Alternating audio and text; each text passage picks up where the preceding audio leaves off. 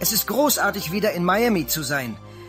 Wir haben CD Nummer 2 herausgebracht und Dinge, die uns Hashem näher bringen. Wir haben gesagt, es tut mir leid, Hashem. Gib uns eine weitere Chance. Richte uns im Buch des Lebens mit den Tzadikim, Nevonim und Größten der Großen. Das war wichtig. Jetzt müssen wir handeln und die Chancen nutzen, die Hashem uns gibt.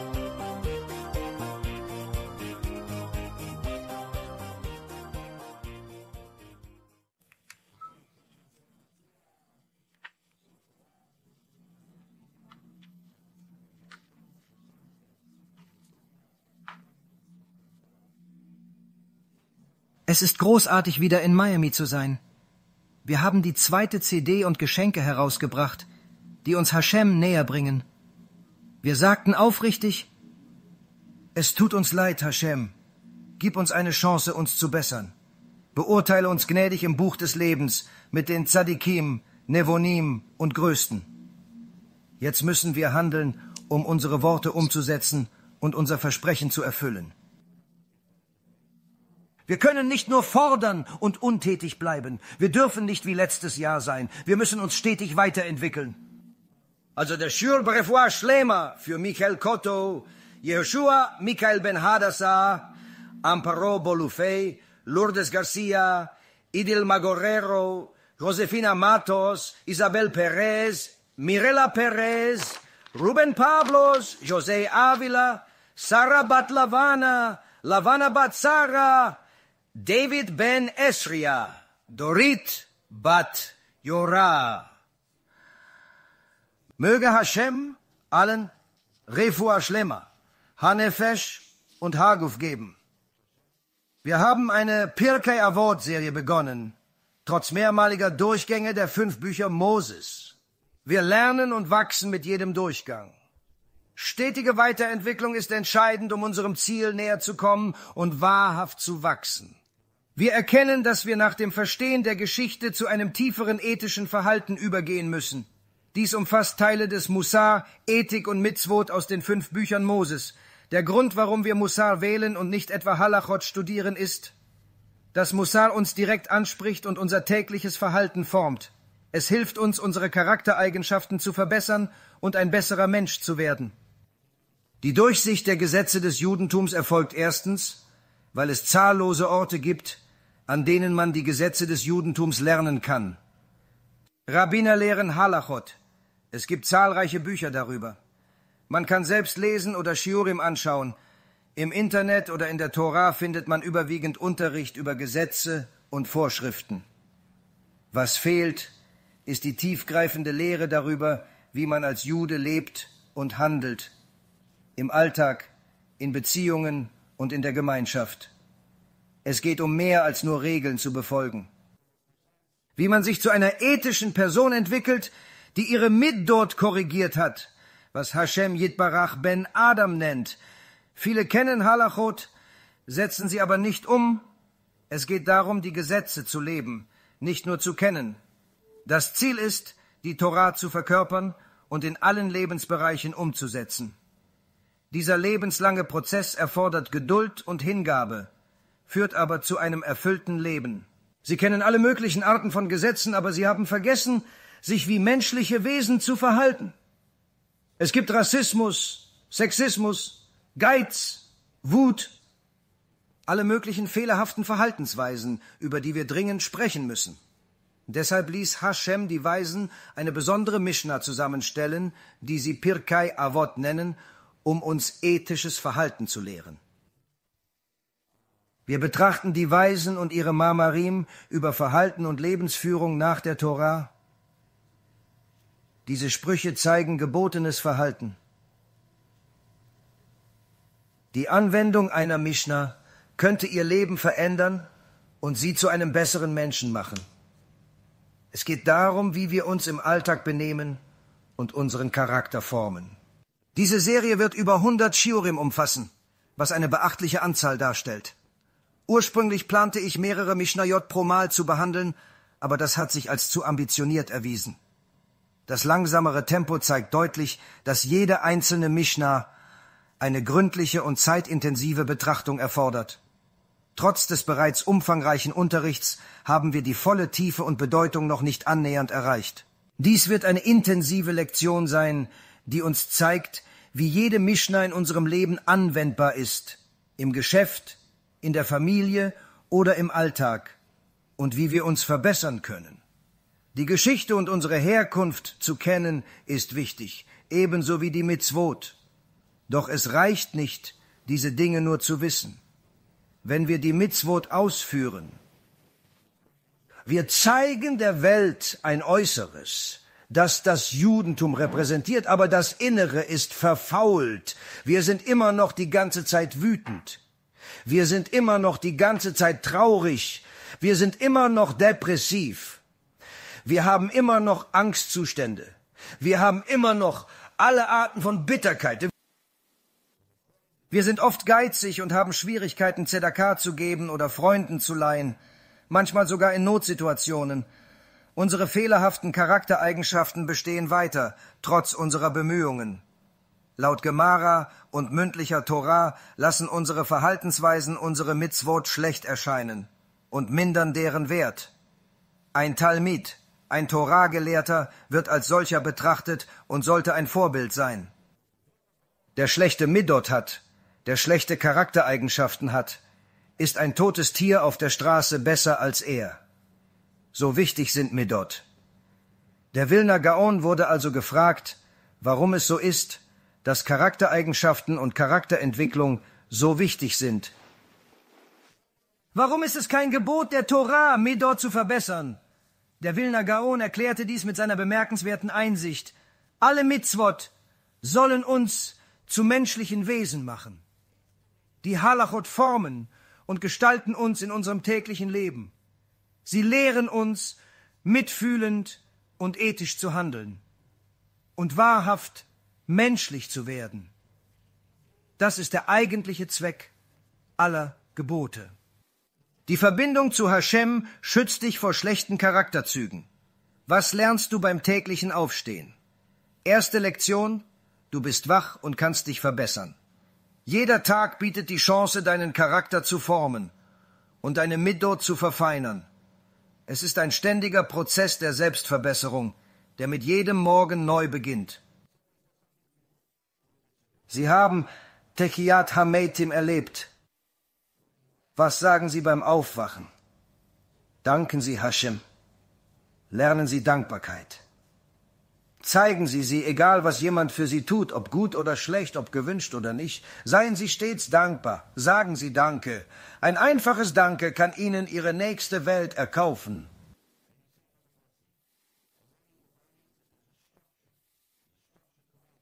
Nachdem Sie das getan haben, waschen Sie Ihre Hände und sprechen einen Segen.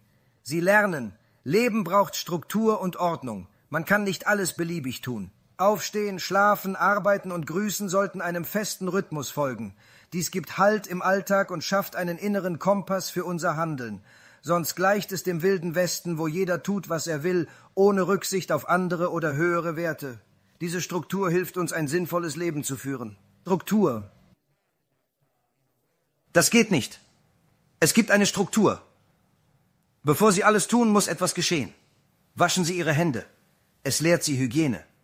Seien Sie nicht jemand, der schicke Kleider trägt, aber vergisst zu duschen. Das verursacht Chilul Hashem, kein Kiddush Hashem. Sie können alle schwarze und weiße Kleidung tragen, aber wenn Sie riechen, ist es Chilul Hashem. Die Leute denken dann, alle Juden riechen. Hygiene ist wichtig. Als Diener Hashems repräsentieren wir ihn und sollen ein Licht für die Nationen sein.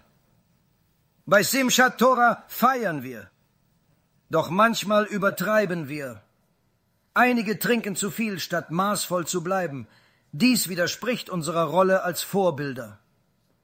Wir müssen stets unser Bestes geben und Hashems Lehren folgen, um unserer Verantwortung gerecht zu werden. Was?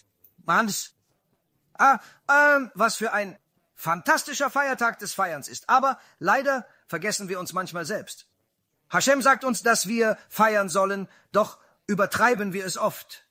Statt maßvoll zu trinken, wollen manche einen Schwips bekommen und ein gutes Gefühl haben. Sie trinken dann ein Drittel der Flasche oder sogar mehr, anstatt nur ein wenig zu genießen und die Freude des Festes zu spüren. Und erscheinen in dem Miniatur Beit Hamikdash, genannt Beit Knesset, in unserer Generation wie Alkoholiker. Sie riechen nach Alkohol, sie benehmen sich wie Alkoholiker, sie fallen übereinander, und was tun sie? Sie tun es direkt neben dem Sefer Torah. Wenn dies der Beit Hamikdash wäre und die Sanhedrin anwesend wäre, würden sie auf der Stelle die Todesstrafe erhalten. Auf der Stelle ohne Prozess. Sofort würden sie die Todesstrafe erhalten. Aharons Kinder zwei von ihnen. Hashem tötete sie aus fünf Gründen. Einer davon, sie tranken vor dem Betreten des Kodesh Hakodashim. Man darf nicht betrunken oder auch nur mit zu viel Alkohol in die Synagoge gehen. Es ist eine ernste Angelegenheit. Dies führt mich zu meinem nächsten Thema, über das mich die Leute gefragt haben, das ich jedoch nie in einem Shiur angesprochen habe, Deshalb ist es gut, es einfach zu erwähnen, und ich werde darauf eingehen, warum die Leute immer fragen, ob wir Marihuana rauchen dürfen.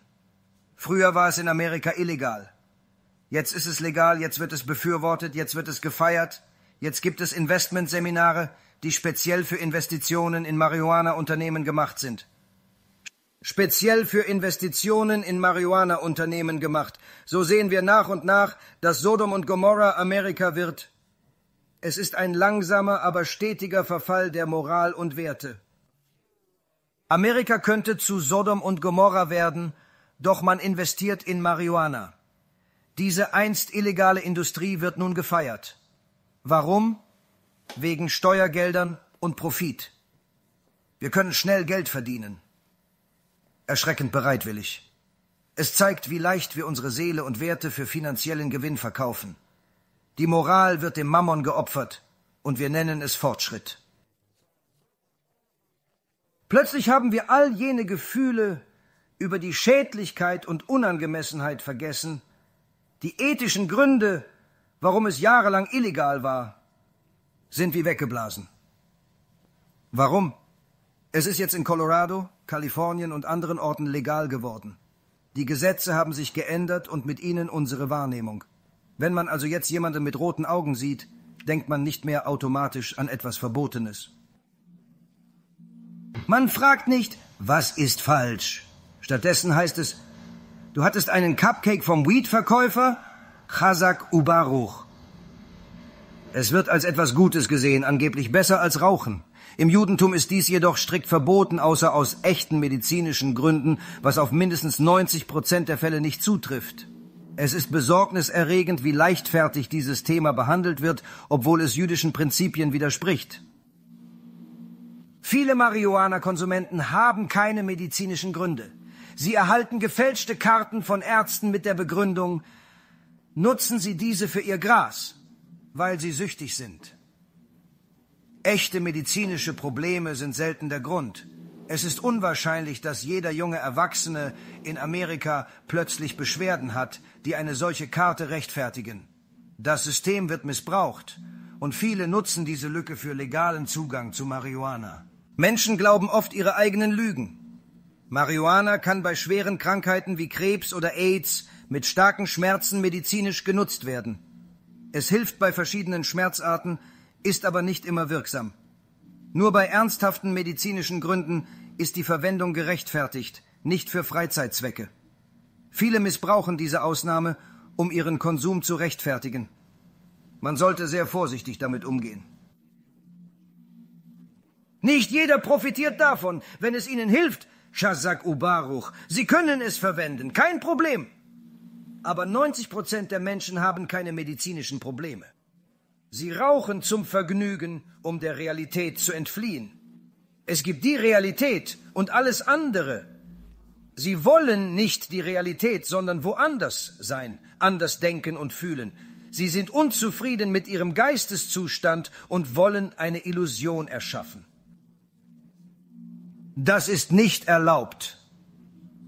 Der Grund ist derselbe, warum uns Trinken und Betrunkenheit verboten sind. besonders in der Beit Knesset. Ein Jude soll ein Licht für die Nationen sein. Als solches muss man wissen, dass man nicht nur sich selbst als Jude repräsentiert, sondern auch GTT.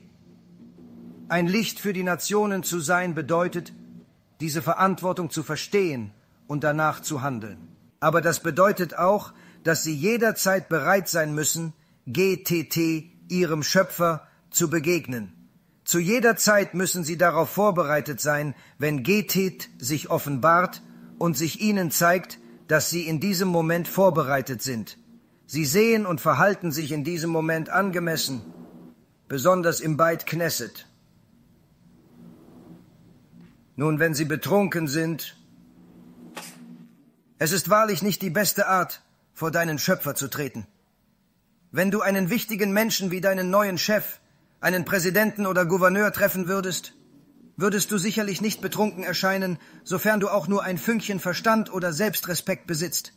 Genauso wenig würdest du high erscheinen wollen. Oh ja, ich habe gerade einen Brownie gegessen, was natürlich nicht dasselbe ist.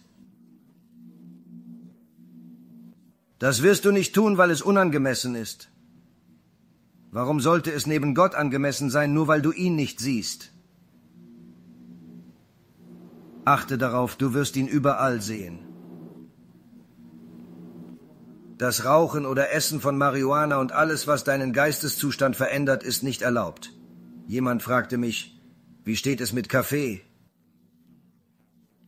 Kaffee verändert auch ihren Geisteszustand. Das ist nicht unbedingt dasselbe Niveau der Veränderung ihres Geisteszustands.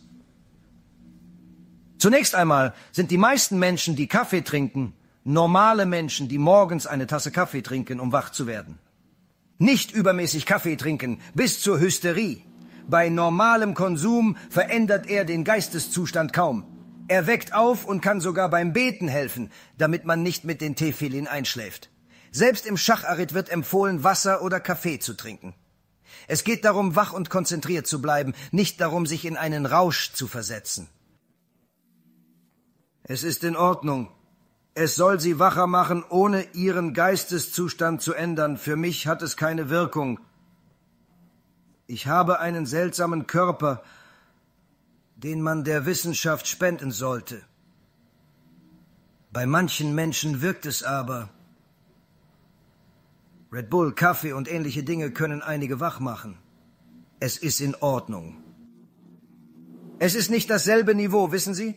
Sie werden eine Tasse Kaffee trinken und den Präsidenten treffen, wer auch immer in einer Woche der Gewinner sein wird. Aber Sie werden nicht schnell einen Joint rauchen. Neben dem Präsidenten trinkst du keinen Tequila-Shot, aber Kaffee ist in Ordnung. Warum? Es ist akzeptables Verhalten. Wenn es für einen irdischen König akzeptabel ist, muss es auch für den König der Könige akzeptabel sein. Du musst erkennen, dass wenn es für einen niedrigen König aus Fleisch und Blut in Ordnung ist, es auch für den höchsten König angemessen sein wird. Wenn es für sie nicht akzeptabel ist, dann ist es für den König der Könige offensichtlich noch viel weniger akzeptabel. Das ist also das Hauptanliegen in Bezug auf die Frage nach Marihuana und Alkohol. Es ist äußerst wichtig, dass die Menschen wissen, dass es nicht nur unangemessenes Verhalten ist, sondern dass das Urteil auch sehr, sehr streng ist. Viele Menschen haben Schwierigkeiten mit einigen Teilen, haben Schwierigkeiten zu glauben, was wir sagen.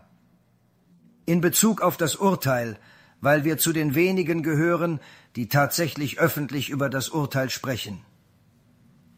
Deshalb habe ich ein paar Quellen mitgebracht, die ich kürzlich durchgegangen bin, und die Gemara. Es gibt unzählige Quellen, dies sind nur einige davon. So verstehen Sie, dass das, was wir sagen, nicht meine Meinung ist. Meine Meinung ist wertlos, das ist klar. Jeder einzelne Buchstabe der heiligen Torah ist unendlich wertvoller. Niemand sollte jemals denken, dieser Mann ist streng. Wenn es überhaupt Strenge gibt, dann ist es lediglich meine persönliche Meinung. Alles, was ich hier sage und lehre, ist Standard und grundlegendes Niveau der Halacha. Die Tora sieht Grundlegendes als fundamental. Gott ist gnädig bei Dienst, sonst urteilend. Weise der Gemara erweckten Tote. Gottes Urteil folgt unserem Verhalten.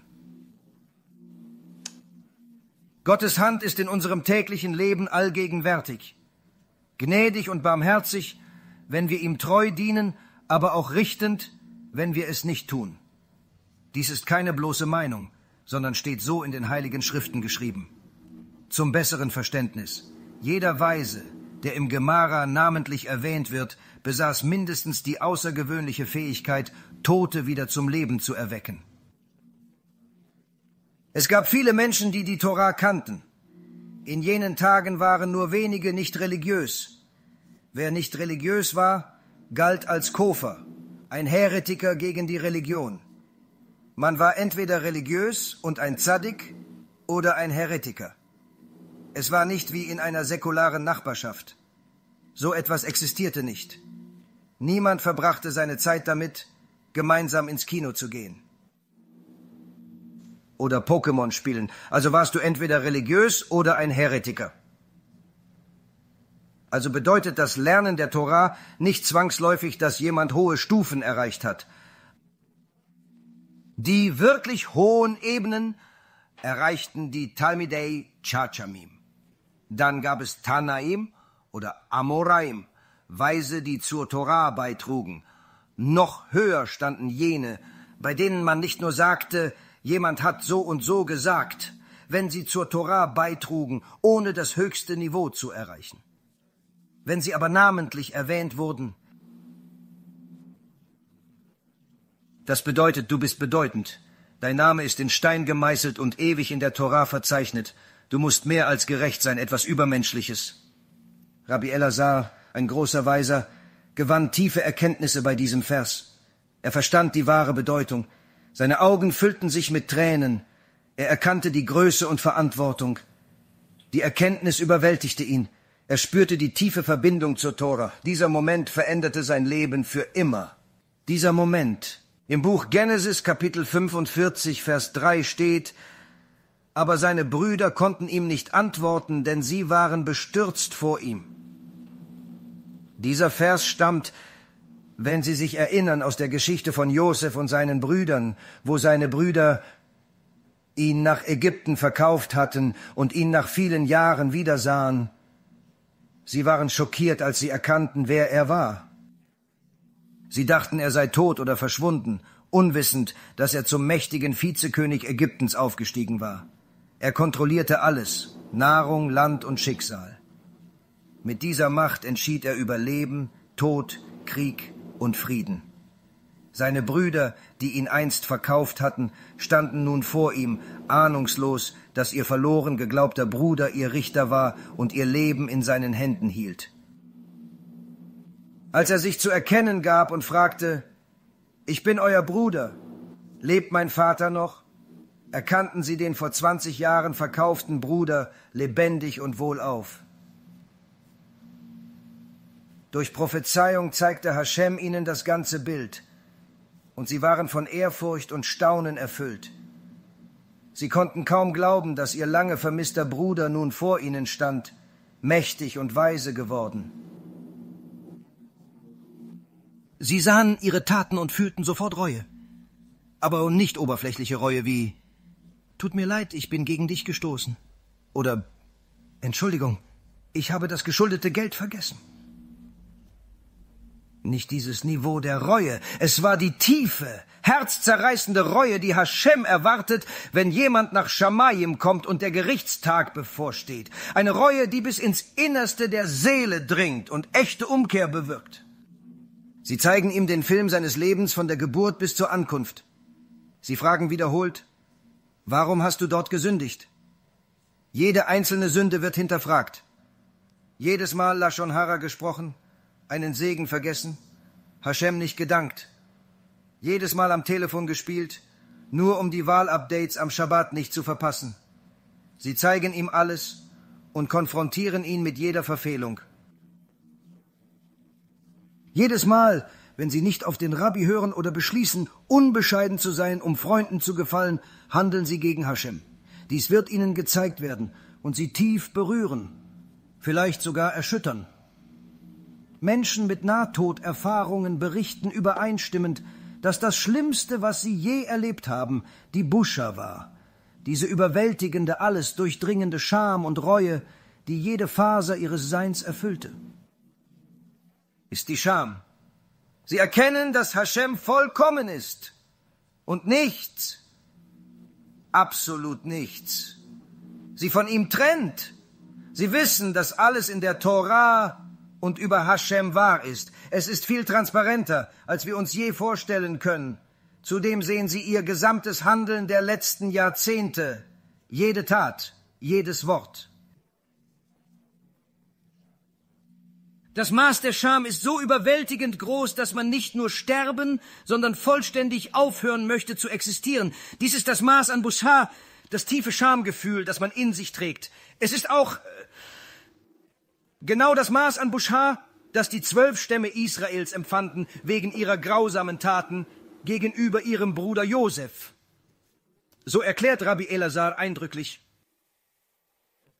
Jedes Mal, wenn ich diesen Vers lese, weine ich. Warum weint er? Nun, wenn dies die Zurechtweisung von Fleisch und Blut ist, die so viel Bestürzung verursacht, wird die Zurechtweisung des Heiligen, gepriesen sei er, umso mehr sein. Wenn die Brüder Josef Hatzadik empfand solche Scham vor einem Menschen. Stellen Sie sich die Scham vor, die wir vor Melech Malchai Hamelachim Hakadosh empfinden werden. Eine überwältigende, tiefgreifende Scham, die uns erschüttert. Wenn wir das vollständige Bild kennen, die Leute denken nicht darüber nach, aber es ist ein großer Teil der Strafe und oft unterschätzt. Wenn wir über einige Dinge sprechen, gehen wir nicht auf Details ein, sondern geben nur eine kleine Vorstellung davon. Das sollte uns zum Nachdenken anregen. Ich möchte ein paar dieser wichtigen Punkte mit Siata Dishmaya ansprechen und hoffe, dass wir daraus lernen können. Wirklich diese Nörgler eliminieren oder alles, was sie vielleicht oder vielleicht nicht von anderen Orten hören, wo sie ihnen sagen, nein, es ist zu hart. Genom existiert nicht. Es ist nur ein Jahr. Wissen Sie, es gibt tatsächlich einen Chabad-Artikel, der vor ein paar Jahren geschrieben wurde. Leider, nachdem er geschrieben wurde,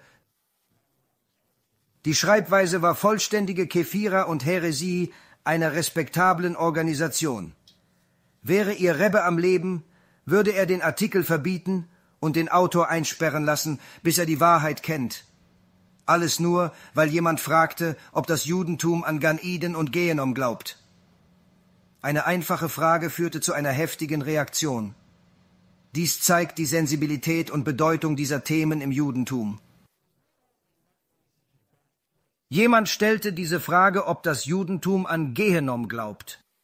Und die Art und Weise, wie diese Person diesen Artikel geschrieben hat, ließ es so erscheinen, als sei Gehenom nicht nur wirklich kein so schlechter Ort, sondern in gewissem Maße schien es tatsächlich ein guter Ort zu sein.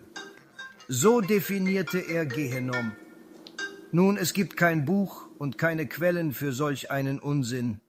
Sogar die Gojim wissen, dass Gehenom kein guter Ort ist. Und keine große Sache. Per Definition weiß jeder, dass Gehenom nicht eine, Sie erwähnten Gehenom, jemand bekommt. Satan muss sich einmischen. Sagen Sie, hey, warum reden Sie über mein Haus? Also dieser Typ hat es so dargestellt, was eine übliche Beschreibung davon ist, wo sie sagen, nein, es ist wie eine Waschmaschine. Es reinigt die Seele von Unreinheiten, aber es ist kein Ort ewiger Qual. Wissen Sie, es ist so, dass man für ein Jahr dorthin geht, sie reinigen einen und dann geht man nach Gern Eden. Das ist völliger Unsinn. Es gibt überhaupt keine Quelle für das, was dort gesagt wird. Es gibt ein Missverständnis Gehenom dauere ein Jahr. Tatsächlich könnte es unendlich sein. Die Gemara in Masechet Rosh Hashanah sagt, manche verlassen Gehenom nie, auch wenn Maschiach kommt und die Welt endet. Dies widerspricht der Idee eines begrenzten Aufenthalts. Tora und Gemara lehren das Gegenteil. Es wird als kein schlechter Ort dargestellt. Diese Dinge zu wissen ist wichtig, da die heutige Mishnah zum Verständnis von Yirat Shamayim beiträgt. In dieser Gemara, Masechet Chagiga, Es heißt ebenso verhält es sich beim Maß der Bestrafung, denn es steht geschrieben, wie die Anzahl der Tage, die ihr das Land ausgekundschaftet habt, die Strafe entspricht der Sünde. Haben Sie 40 Jahre gesündigt? Nein, nur 40 Tage. Dies lehrt uns Folgendes. Wer eine Übertretung begeht, selbst an nur einem einzigen Tag im Jahr, wird von der Schrift so betrachtet, als hätte er das ganze Jahr über gesündigt. Sie nutzen hier eine Quelle. Masechet Chagiga, Seite 5b. Hier lehren sie uns etwas beängstigender als die Beschreibung von Gehinom. Was ist hier so erschreckend? Sie beziehen sich auf die Sünde der Spione, die wir mit Moshe Rabenu lernten. Die Spione gingen für 40 Tage nach Kanaan, dem späteren Eretz Yisrael, und brachten schlechte Nachrichten zurück. Dies wird als Beispiel verwendet, um uns zu warnen. Und dann bestrafte uns Hashem für 40 Jahre. Shazal lehrt uns hier, dass jemand, der eine Sünde begeht, nicht denken sollte, oh, okay, ich habe eine Sünde begangen, es ist wirklich nicht so schlimm. Sie sagen, dass man für einige Sünden einen Tag sündigen und dafür ein Jahr lang bestraft werden könnte. Warum erwähne ich diese spezielle Gemara? Weil wir manchmal in Shiurim sagen, dass Teile der Bestrafung nicht nur ein oder fünf Jahre dauern. Es könnten 5000 oder 50 Millionen Jahre sein. An einem solchen Ort gibt es kein Zeitkonzept. Da fragen sich die Leute, wie es 50 Millionen Jahre sein könnten. Wenn die Welt weniger als 6000 Jahre alt ist, gibt es kein Zeitkonzept. Doch steht geschrieben, dass eine Sünde bestraft werden kann. Ein Tag kann ein Jahr zählen. Wer öffentlich seine Meinung äußert, sollte diese Konsequenzen bedenken und vorsichtig sein. Die Torah lehrt uns, dass unsere Worte und Taten Gewicht haben und langfristige Folgen nach sich ziehen können. Ob es in einem Artikel, einem Vortrag oder sogar im allgemeinen Verhalten im Beit Knesset ist, Sie müssen erkennen, dass sie für alles, was sie tun, verantwortlich sind. Als Jude bist du für jede einzelne deiner Handlungen verantwortlich. Und wenn du kein Licht für die Nationen sein wirst, dann stelle sicher, dass du auch keine Dunkelheit für sie bist. Dies ist eine Hauptlehre aus Pirkei Avot, jedes Werkzeug lehrt uns, bessere Menschen zu werden. Gestern besprachen wir die Parascha und lernten, dass ohne Kontrolle, wie in Parashat Noach, die Menschheit ihre moralische Richtung verliert. Dies zeigt die Bedeutung von Selbstbeherrschung und göttlicher Führung. Die Lehren aus Pirkei Avot und der Parascha ergänzen sich und bieten Einblicke in ethisches Verhalten und spirituelles Wachstum. Die Menschen jener Generation hatten alles. Sie waren sehr, sehr wohlhabend. Die Welt war drastisch schöner. Sie hatten alle Arten von Dingen, die jenseits unserer Vorstellungskraft liegen. Sie waren groß, sie waren stark, sie waren wohlhabend.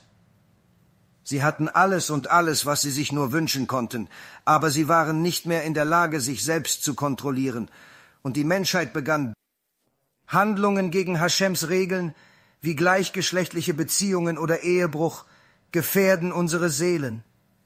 Diese Gebote dienen unserem Schutz und unserer Führung. Nur durch Respekt und Befolgung der Gebote können wir ein erfülltes, rechtschaffenes Leben im Einklang mit Hashems Willen führen. Es wurde für sie normal und leider wird es heute zunehmend normal. Aus Parashat Noach lernen wir, dass die Mitzwa Samen nicht zu verschwenden, erstmals erwähnt wird. Erinnert sich jemand an meinen dreistündigen Vortrag in New York über das Verschwenden von Samen? Es war ein wichtiges Thema, das uns alle betrifft und leider oft übersehen wird. Die Torah lehrt uns jedes Leben zu schätzen, vom Anfang an. Die Torah verbietet das Vergeuden von Samen als eine der Mitzvot nach dem Mabul. In Kapitel 9, Vers 6 wird dieses Gebot nach der Zerstörung der Welt durch Hashem deutlich gemacht. Es betont die Wichtigkeit, Leben zu respektieren und zu erhalten. Weil die Menschen sich nicht kontrollieren konnten, einander bestohlen und vergewaltigt haben, beschließt Hashem, die Welt zu zerstören und mit Noach neu zu beginnen. Nach der Zerstörung, die ein großes Trauma verursachte und die Welt altern ließ, sagt er zu Noach, Du wirst mit deiner Familie die Welt neu beginnen. Dies ist deine Chance, die Welt neu zu erschaffen und indem er die Welt durch ein großes Trauma führte, das die Erde außergewöhnlich altern ließ, sagt er zu Noach, höre, du wirst die Welt mit deiner Familie neu beginnen. Dies ist die Gelegenheit, die du hast, um die Welt neu zu erschaffen und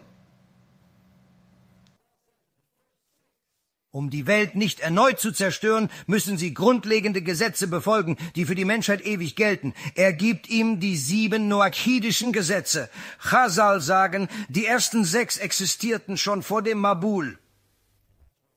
Sie waren bereits bekannt.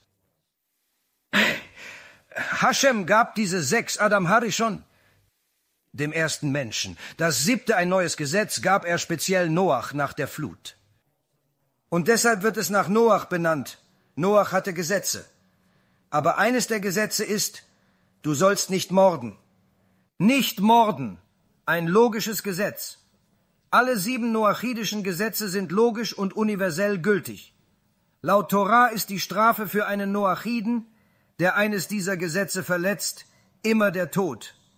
Im Judentum hingegen gibt es unterschiedliche Strafen, je nach Schwere des Vergehens wenn ein Jude zum Beispiel stiehlt. Ein ertappter Dieb, der leugnet, zahlt doppelt. 200 für 100 Gestohlenes. Für Noachiden gilt bei Diebstahl die Todesstrafe, selbst für einen Dollar. Dies zeigt den deutlichen Unterschied zwischen jüdischem und noachidischem Gesetz beim Diebstahl. Also dies ist ein Grund warum. Erstens, sie haben eine viel geringere Anzahl von Regeln als die Juden und zweitens, alle ihre Regeln basieren auf grundlegender Logik, um eine zivilisierte Welt zu haben. Eines der Gesetze, die Hashem Noach gibt, lautet, töte nicht. Die Art und Weise, wie er es ihm gibt, unterscheidet sich jedoch stark von der im Rest der Torah, einschließlich der zehn Gebote. In den zehn Geboten sagt Hashem nur zwei Worte. Lotirzach. Töte nicht. Aber hier in Parashat Noach ist es sehr klar, dass es mehr ist als nur nicht morden. In Kapitel 9, Vers 6 heißt es, Wer das Blut eines Menschen vergießt, dessen Blut soll durch den Menschen vergossen werden. Denn im Bilde Gottes hat er den Menschen gemacht. Dies zeigt, wie heilig das menschliche Leben ist. Hashem hat den Menschen gemacht. Hier sehen wir, dass es sich nicht nur um ein einfaches Du sollst nicht morden handelt. Dies ist, wer das Blut des Menschen im Menschen vergießt, dessen Blut wird vergossen. Wir wissen also bereits, dass die Strafe für Mord die Todesstrafe ist. Die Schwere dieses Verbrechens wird deutlich hervorgehoben. Es beginnt anders. Es heißt das Blut eines Mannes in einem Mann. Wenn es nur Mord bedeuten würde, wäre es das Blut eines Mannes. Jeder, der das Blut eines Mannes vergießt, das ist Mord. Aber es sagt, jeder, der das Blut eines Mannes in einem Mann vergießt. Adem, Adem, Adem. Das Blut eines Mannes in einem Mann ist sein Samen, sein Sperma. Dies ist die erste wörtliche Quelle in der Tora über Samenverschwendung. Wir halten keinen ganzen Schür darüber, haben aber bereits mehrere Stunden in anderen Vorträgen darüber gesprochen. Der Kernpunkt ist der Grund für Samenverschwendung und Hashems Sorge darüber am Anfang der Tora. Es markiert den Beginn einer neuen Welt. Noach startete diese Welt, die sich von Adams unterscheidet. Die alte Welt wurde erschaffen und zerstört. Dies ist eine völlig neue Welt, die von Grund auf beginnt. Der Grund, warum Hashem laut dem Sohar Hakadosh die Welt hauptsächlich zerstörte, war wegen der Verschwendung von Samen. Als die Menschheit den Wert des Lebens verlor, die Wertschätzung für den Wert des Lebens, bis zu dem Punkt, an dem sie ihren Samen verschwendeten und jedes Mal Millionen potenzieller Seelen töteten, wurde es zu einem so großen Gräuel vor Hashem. Sie haben ihr Recht zu leben verloren. Hashem betont dies gegenüber Noach, unabhängig davon, ob man rechtschaffener Nichtjude oder Jude ist. Durch dieses Mitzwa ist man verpflichtet, potenzielle Seelen nicht als nichts zu behandeln. Es ist eine universelle Verantwortung für alle Menschen, unabhängig von Herkunft oder Glauben. Der, Hauptgrund für diese Sünde ist, wenn die Menschheit keine Struktur, keine Yirat Shamayim hat, ist es unmöglich, Kontrolle zu haben. Wenn du denkst, niemand beobachtet, was du tust, deine Handlungen keine Konsequenzen haben, verlierst du leicht den moralischen Kompass und die Selbstbeherrschung. Ob es sich um Netilat Yadayim, einen Segen über den Keks, Tora lernen, Bescheidenheit, Schabbat halten oder irgendetwas anderes handelt. Wenn Sie nicht glauben, dass jemand jeden Ihrer Geschäftsvorgänge beobachtet, und ich meine nicht die Regierung, wenn Sie nicht glauben, dass jemand zusieht, wenn Sie über Zedakah nachdenken, oder wenn Sie sich fragen, ob Sie eine gute Tat vollbringen sollen, wenn Sie nicht glauben, dass jemand all das sieht, Segen machen oder nicht? Zur Synagoge gehen oder nicht? Wenn du glaubst, niemand sieht zu, machst du dich selbst zum Gott. Das ist Götzendienst. Es muss einen Gott geben, einen Meister der Welt. Jemand muss die Kontrolle haben. Behauptest du, es gäbe keinen Gott, Schas für Shalom, machst du dich zum Meister deiner Welt und zu deinem eigenen Idol. Ohne Yirat Shamayim, ohne Furcht vor dem Allmächtigen, der dich stets beobachtet, verlierst du leicht die Kontrolle. Ohne Ehrfurcht vor dem Himmel ist es einfach, die Beherrschung zu verlieren. Es ist einfach, nach eigenen Wünschen zu handeln. Hashem warnt eindringlich.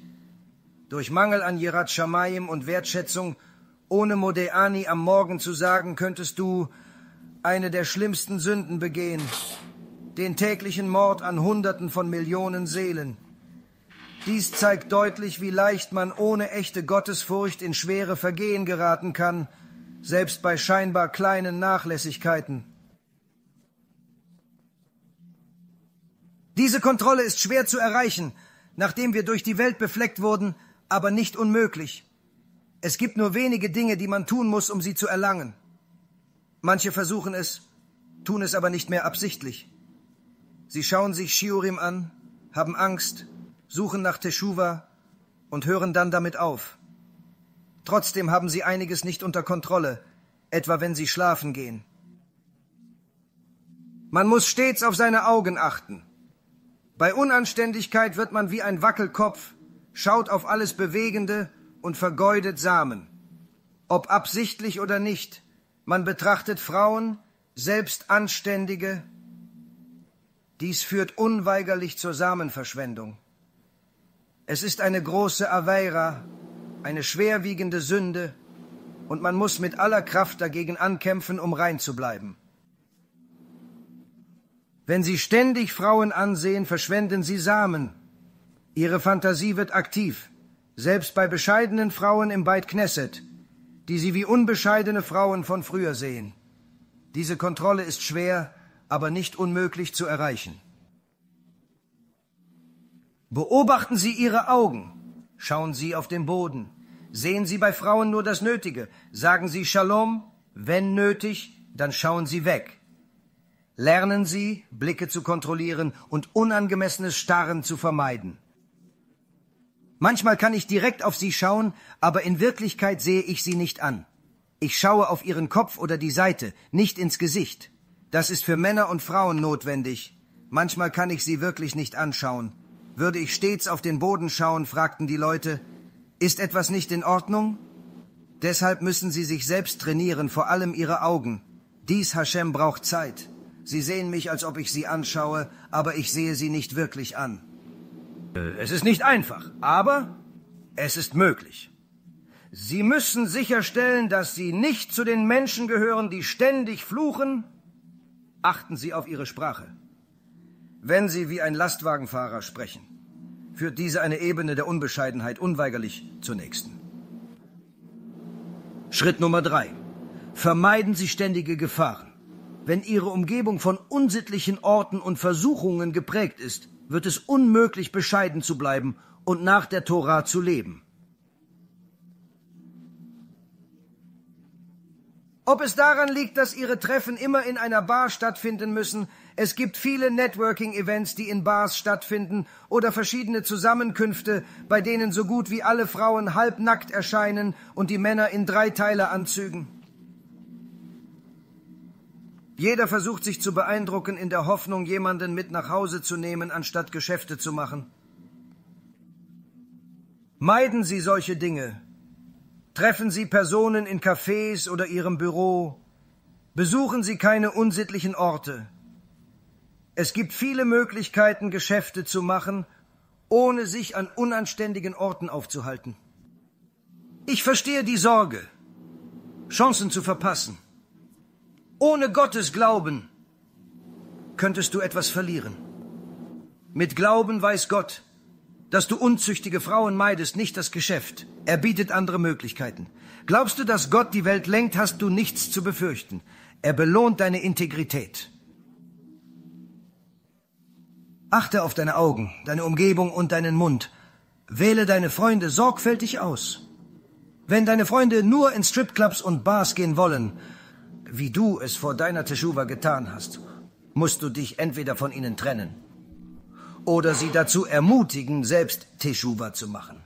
Ihre Vorstellung von Spaß und Unterhaltung sollte nicht zu weit von deinen neuen Werten und deinem spirituellen Weg entfernt sein. Wenn du sie nicht zur Teshuva bringen kannst, musst du deine Freunde aufgeben. Es ist eine schwierige Entscheidung.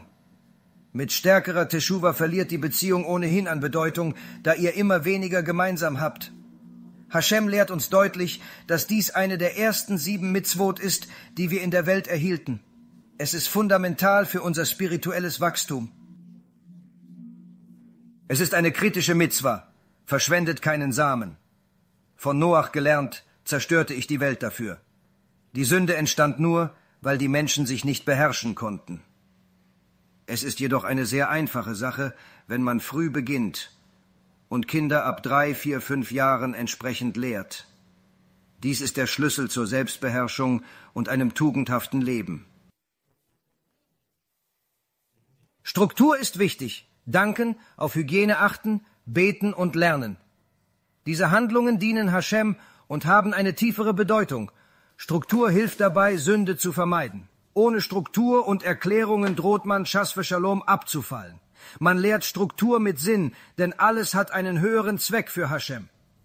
Wenn Struktur und Antworten auf Fragen fehlen, steigt das Risiko abzufallen.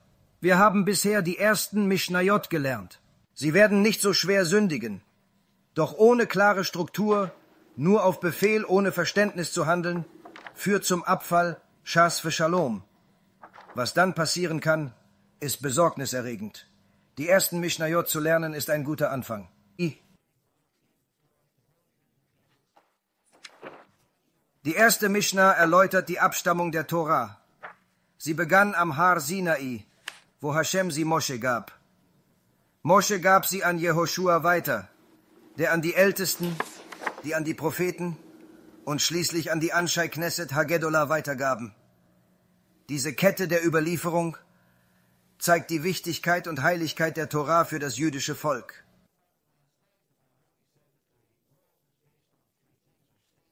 Und dann war das letzte Mitglied der Anschai Knesset Hagedolah, Shimon Hatzadik. Und wir haben letzte Nacht über ihn gelernt, darüber, wie er sagte, dass die Welt auf drei Dingen basiert oder auf drei Dingen steht. Torah, Gottesdienst und auf Nächstenliebe. Und die Geschichtsstunde geht weiter mit dem Mussar darin. Shimon Hatzadik hat viele Schüler Und hier haben Sie eine der bedeutenden Personen, die die weisen Lehren von Shimon Hatzadik erhalten haben. Es heißt, Antigonus, der angesehene Anführer von Soscho, war einer seiner herausragenden Schüler. Er war bekannt für seine Gelehrsamkeit und Frömmigkeit und trug dazu bei, die Lehren seines Meisters Shimon Hatzadik weiterzutragen und zu verbreiten.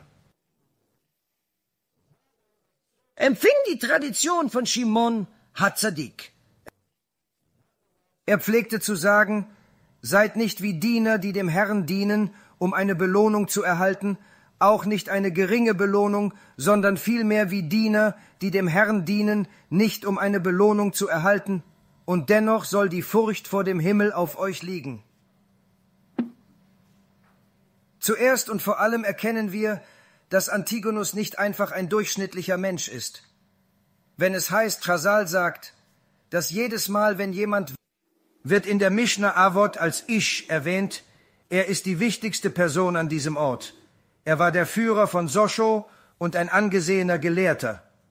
Und er erhielt seine Lehren von Shimon Hatzadik, dem größten Lehrer seiner Zeit, ein Mann von großer Weisheit und Integrität. Und er pflegte zu sagen, wir lernten, er pflegte zu sagen bedeutet, dass er danach lebte. Er lehrte und lebte diese Regeln mit ganzem Wesen. Die Gemara sagt, wer lehrt, aber anders handelt, für den wäre es besser, er wäre im Mutterleib erstickt. Diese Worte betonen die Wichtigkeit von Integrität und Aufrichtigkeit. Und niemals in die Welt kommen. Ein Heuchler zu sein ist im Judentum nicht akzeptabel. Und deshalb wäre es für jemanden, der die Torah beachtet, unmöglich, ein guter Politiker zu sein. So sagt Antigonus, dass es hier ein paar wichtige Lektionen gibt. Seid nicht wie Diener, die dem Meister dienen, um eine Belohnung zu erhalten, sondern seid wie Diener, die dem Meister ohne Erwartung einer Gegenleistung dienen. Dies lehrt uns. Er sagt, hört zu, wir alle sind Avadim für Hashem. Wir sind alle Diener von Hashem, ob ihr es mögt oder nicht. Es ist Hashems Welt, nicht eure. Ihr führt nicht das Kommando und entscheidet wirklich nichts. Wir müssen erkennen, dass wir nur Diener sind in seiner Welt. Du entscheidest nicht, ob du zum Leben erwachst, lebst oder stirbst, männlich oder weiblich, reich oder arm bist. Du entscheidest eigentlich gar nichts, außer ob du Yirat Shamayim haben wirst. Alles kommt von Shamayim, vom Himmel, außer der Furcht vor dem Himmel. Das Einzige, was du entscheiden kannst, ist, ob du rechtschaffen sein und auf die Torah hören und ihr gehorchen wirst. Denken Sie zuerst daran, dass dies Hashems Welt ist.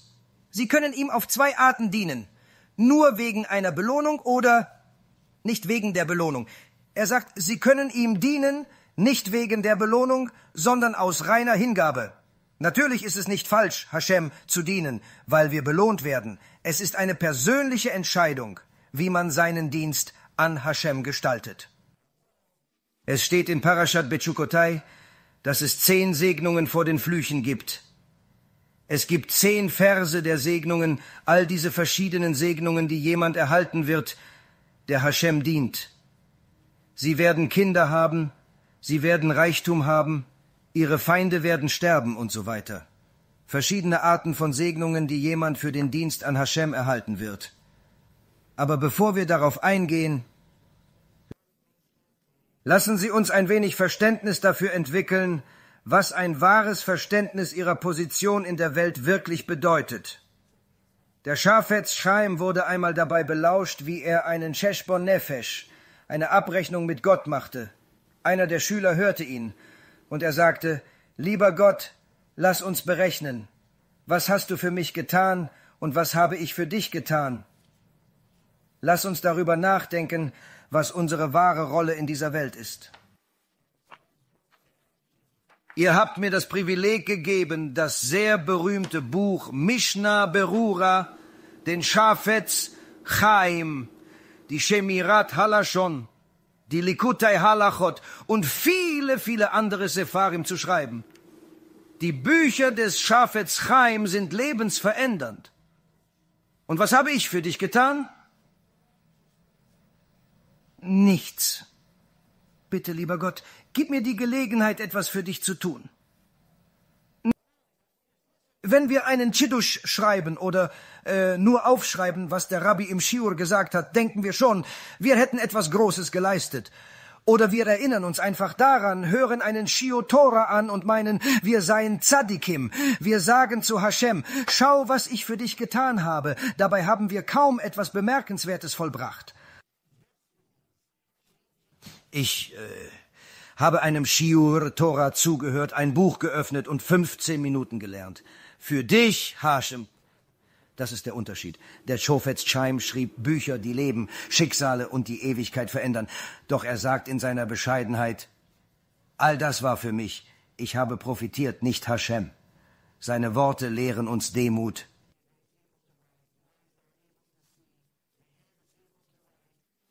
Alles, was ich tat, hat Hashem für mich getan. Er gab mir die Einsicht, Ideen und Fähigkeiten, diese Bücher zu schreiben. Er gab mir den Körper, die Augen, die Hand, das Gehirn und die Neshama, um zu funktionieren. All das hat Hashem für mich getan, nicht ich für ihn. Ich habe nur davon profitiert, während er keinen Vorteil daraus zog. In Wahrheit bin ich nur ein Instrument seiner göttlichen Weisheit und Güte. Hashem ist vollkommen. Dies ist eine heilige Neshama, die heilige Gedanken hat. Dies ist Da'at Torah. Dies ist die Denkweise der Tora. Wenn wir das Leben auf diese Weise betrachten, äh, sehen wir, dass unsere Sichtweise ein wenig falsch ist. Die Menschen fragen mich ständig, Rebbe, wie kann ich mich verbessern? Wie kann ich Hashem näher kommen? Wann wird Hashem dies für mich regeln? Das Geschäft abschließen? Mir helfen, einen Zivuk zu finden? mehr Parnassah geben, Kinder schenken, mir dies oder das geben? Wann wird Hashem mir endlich geben? Sie haben ein Missverständnis über die Beziehung, ein grundlegendes sogar, wenn ich das so sagen darf. Denn erstens müssen wir verstehen, Hashem schuldet uns nichts. Sie schätzen überhaupt nicht, was sie bereits haben und sind blind für ihre Segnungen. Wenn du fragst, wann wird er mir geben, zeigst du, dass nichts genug ist. Weder Augen, Ohren, Luft, Essen, Partner noch Job sind ausreichend. Du bist mit allem unzufrieden. Folglich gibt dir Hashem nicht genug. Schlimmer noch, du verhältst dich, als ob er in deiner Schuld stünde. Sie betrachten die Welt falsch denkend, Hashem schulde ihnen etwas, eine gefährliche Einstellung. Die Mishnah beginnt mit einem äußerst wichtigen Wort. Sie sind Avadim, Diener von Hashem. Sie sind hier, um ihm zu dienen, nicht umgekehrt. Ein entscheidendes Konzept. Erinnern Sie sich stets daran und handeln Sie entsprechend. Den Geisteszustand müssen wir erreichen. Es braucht Zeit. Aber man muss es beständig trainieren. Wenn du Hashem um etwas bitten willst, sei es Parnassa, Zivuk oder irgendetwas anderes, hier ein wichtiger Vorschlag. Erinnert euch, ich sagte schon einmal, es könnte in diesem oder einem anderen Shiur eine gute Idee sein, darüber nachzudenken. Um Segen zu erhalten und sich mit Hashem zu verbinden, nehmen Sie sich täglich Zeit, um ihm zu danken. Eine Minute 30 Sekunden oder fünf Minuten reichen aus. Danken Sie für etwas oder viele Dinge. Es ist ratsam, zuerst Danke zu sagen, bevor Sie Hashem um etwas bitten. Dies hilft, eine tiefere Verbindung aufzubauen und Segen zu empfangen. Warum? Stellen Sie sich vor, ein Vater hat zwei Söhne. Einer liebt und schätzt ihn sehr, der andere ist weniger dankbar und aufmerksam. Wem möchte der Vater wohl mehr geben?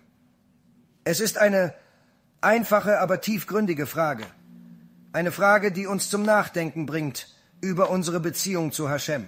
Danke aber für alles, was du mir gibst. Leider denkt unsere Generation oft, das war's? Mehr nicht? Undankbarkeit entfernt uns von Zufriedenheit und Hashem. Wir müssen lernen, das Vorhandene zu schätzen, statt mehr zu fordern. Nur so finden wir Erfüllung und Frieden. Es ist wichtig, täglich innezuhalten und Hashem für die kleinen Dinge zu danken. Dankbarkeit stärkt unsere Verbindung zu ihm und öffnet uns für seine Segnungen. Sie geben ihnen Gehalt, Geschenke, alles Mögliche. Oh, das ist alles? Es ist eine ständige Enttäuschung. Haben Sie jemals jemanden aus dieser Generation getroffen, der nicht ständig enttäuscht ist?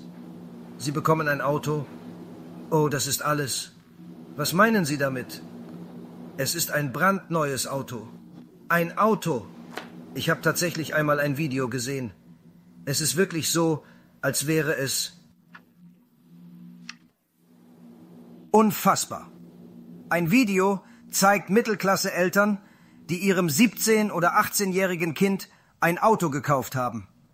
Obwohl der Teenager gerade erst zu fahren beginnt, haben sie ihm ein Auto geschenkt. Ein beachtliches Geschenk für einen so jungen Fahrer. Die Reaktion des Jugendlichen war überraschend. Kluge Eltern kaufen ihrem Kind kein neues Auto. Es wäre eine pure Verschwendung, denn es wird ganz sicher ruiniert werden. Selbst wenn man reich ist, gibt es wirklich keinen vernünftigen Grund dafür. Das Kind kann schließlich noch gar nicht richtig fahren. Kaufen Sie stattdessen ein einfaches gebrauchtes Auto. Es muss nicht unbedingt dreirädrig sein, aber es sollte unkompliziert und robust sein. Am Ende entscheiden Sie sich dann für ein gebrauchtes Standardauto, das seinen Zweck erfüllt. Er sieht das Auto und fängt an, seine Eltern anzuschreien und zu verfluchen. Dann nimmt er, ich weiß nicht, irgendeinen Besen oder etwas ähnliches und beginnt das Auto zu zerschlagen, während er schreit, dass dies nicht das Auto ist, das er wollte. Er wollte ein brandneues Auto, kein gebrauchtes. Das ist leider typisch für diese Generation. Aber manchmal, wenn wir ehrlich sind, verhalten wir uns auch so undankbar. Hashem gibt uns alles, doch wir vergessen es. Wir wollen nicht, was er uns gab. Wir zerstören es. Nein, Hashem, ich will das andere. Ich habe dir eine Frau gegeben, doch ich will die jüngere mit längerem Haar. Ich gab dir Kinder, doch ich will sie nicht mehr. Stattdessen will ich einen Hund. Ich habe dir eine Aufgabe gegeben, aber ich will Millionär sein. Ich bin es noch nicht. Du bist es, aber ich will wie Bill Gates sein.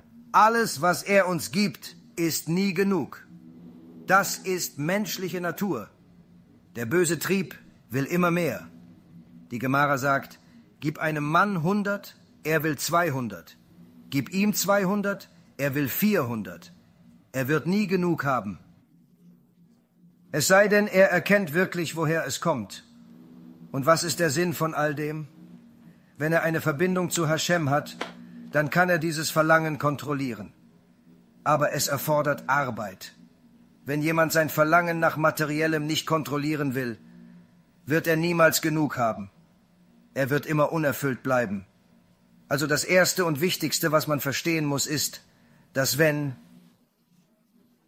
wir gewöhnen uns, zuerst Hashem zu danken, dann zu bitten, Bitten Sie aber, danken Sie zuerst. Seien Sie dankbar für das, was Sie haben.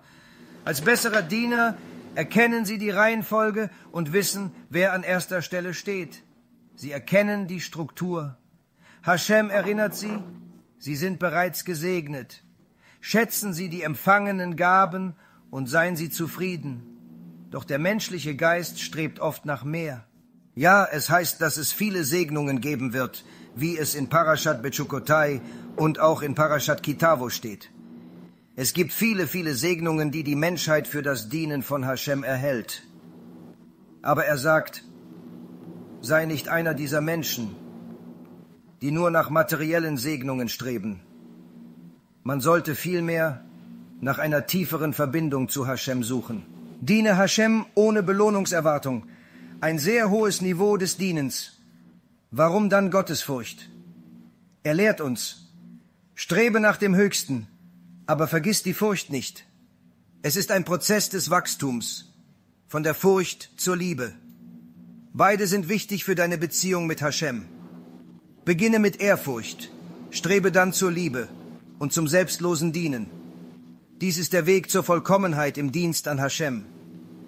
Man sollte wirklich, idealerweise Hashem dienen wie Avraham Avinu, wie Yitzchak Avinu, wie Jakob Avinu, wie Moshe Rabbeinu, wie Aharon HaKohen, wie David Hamelech, wie diese großen außergewöhnlichen Vorväter, die wir haben, diese vollkommenen Menschen. Ihr Beispiel sollte uns als Vorbild dienen und uns inspirieren, in unserem täglichen Leben nach Vollkommenheit zu streben. Er wollte sich nur mit Hashem verbinden.